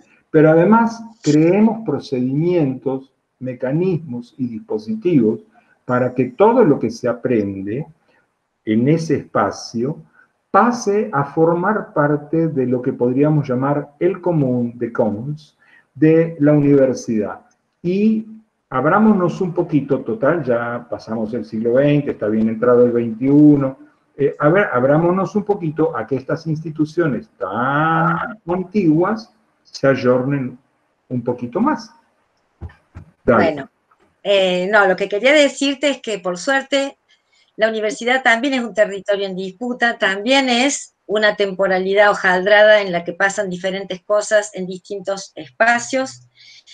Y como parte de esta comunidad que es la Facultad de Filosofía y Humanidades de la UNC, en la dirección en que has apuntado, a veces con ironía y otras veces con las referencias muy reflexivas, hace más de 20 años que trabaja en la cárcel y tenemos un programa que se llama PUC, Programa Universidad en la Cárcel, de lo que hemos formado parte varios de los que hemos estado en esta pantalla, donde hay incluso una oferta curricular de dictado de las carreras completas para titulación de los presos y las presas, experiencias de talleres que empezaron antes, obviamente, que la formalización curricular de las carreras de grado.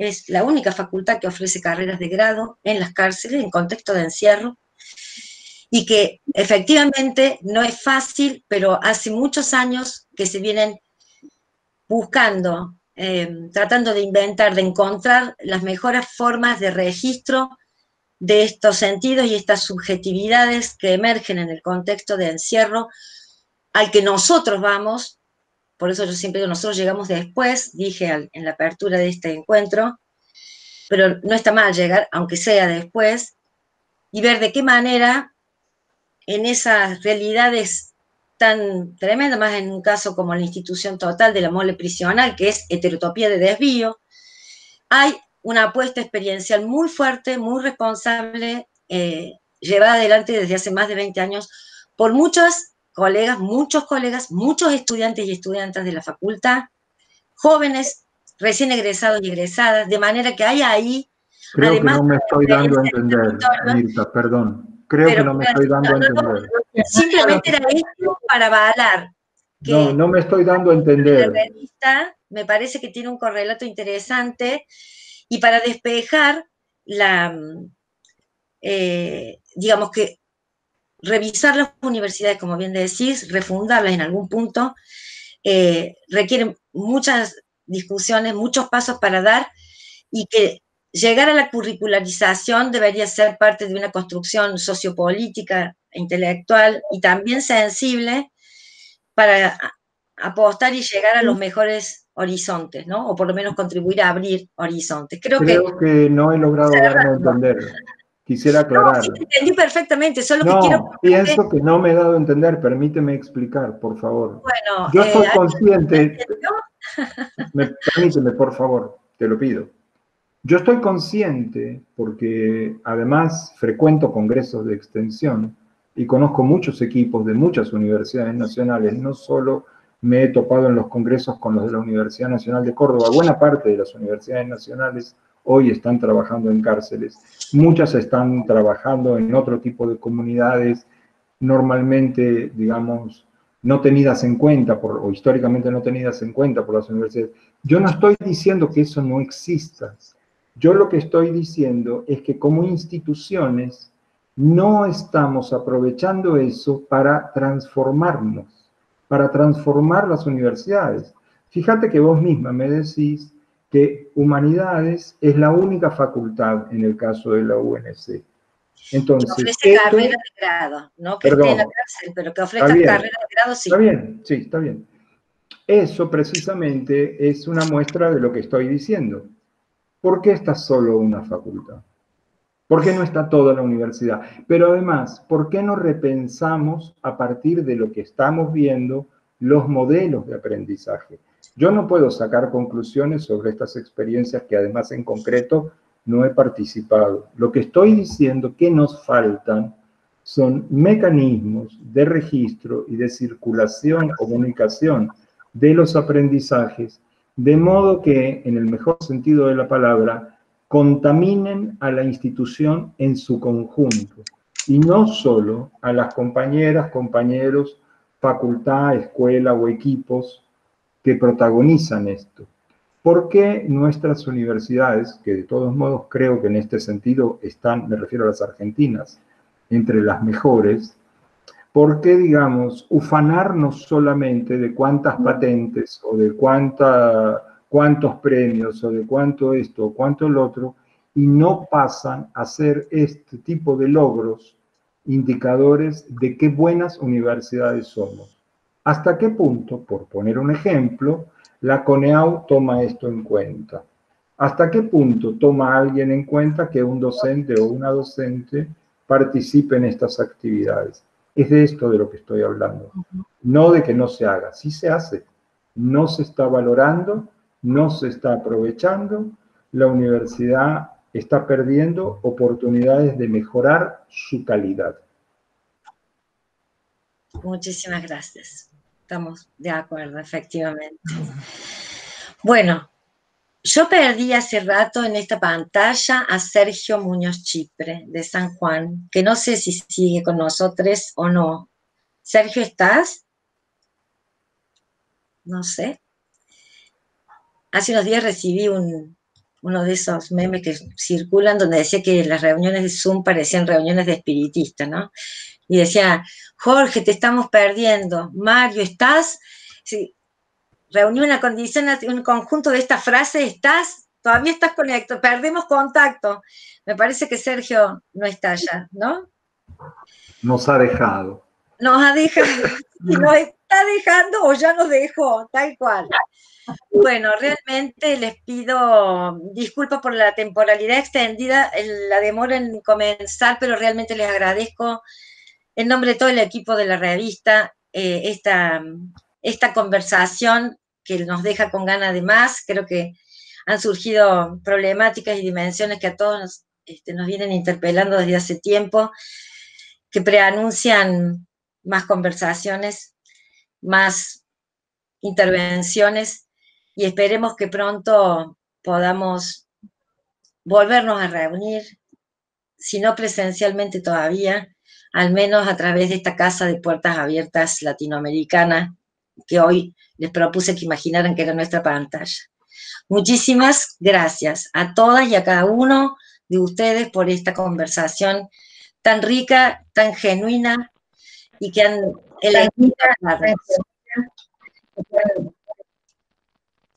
Carmen. Bueno, muchas gracias. Gracias. Chao. Muchas gracias. Gracias. Muchísimas gracias. Ha sido un placer. Hasta luego, gracias.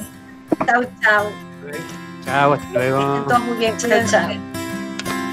Ay, quién corta, me da pena abandonarles.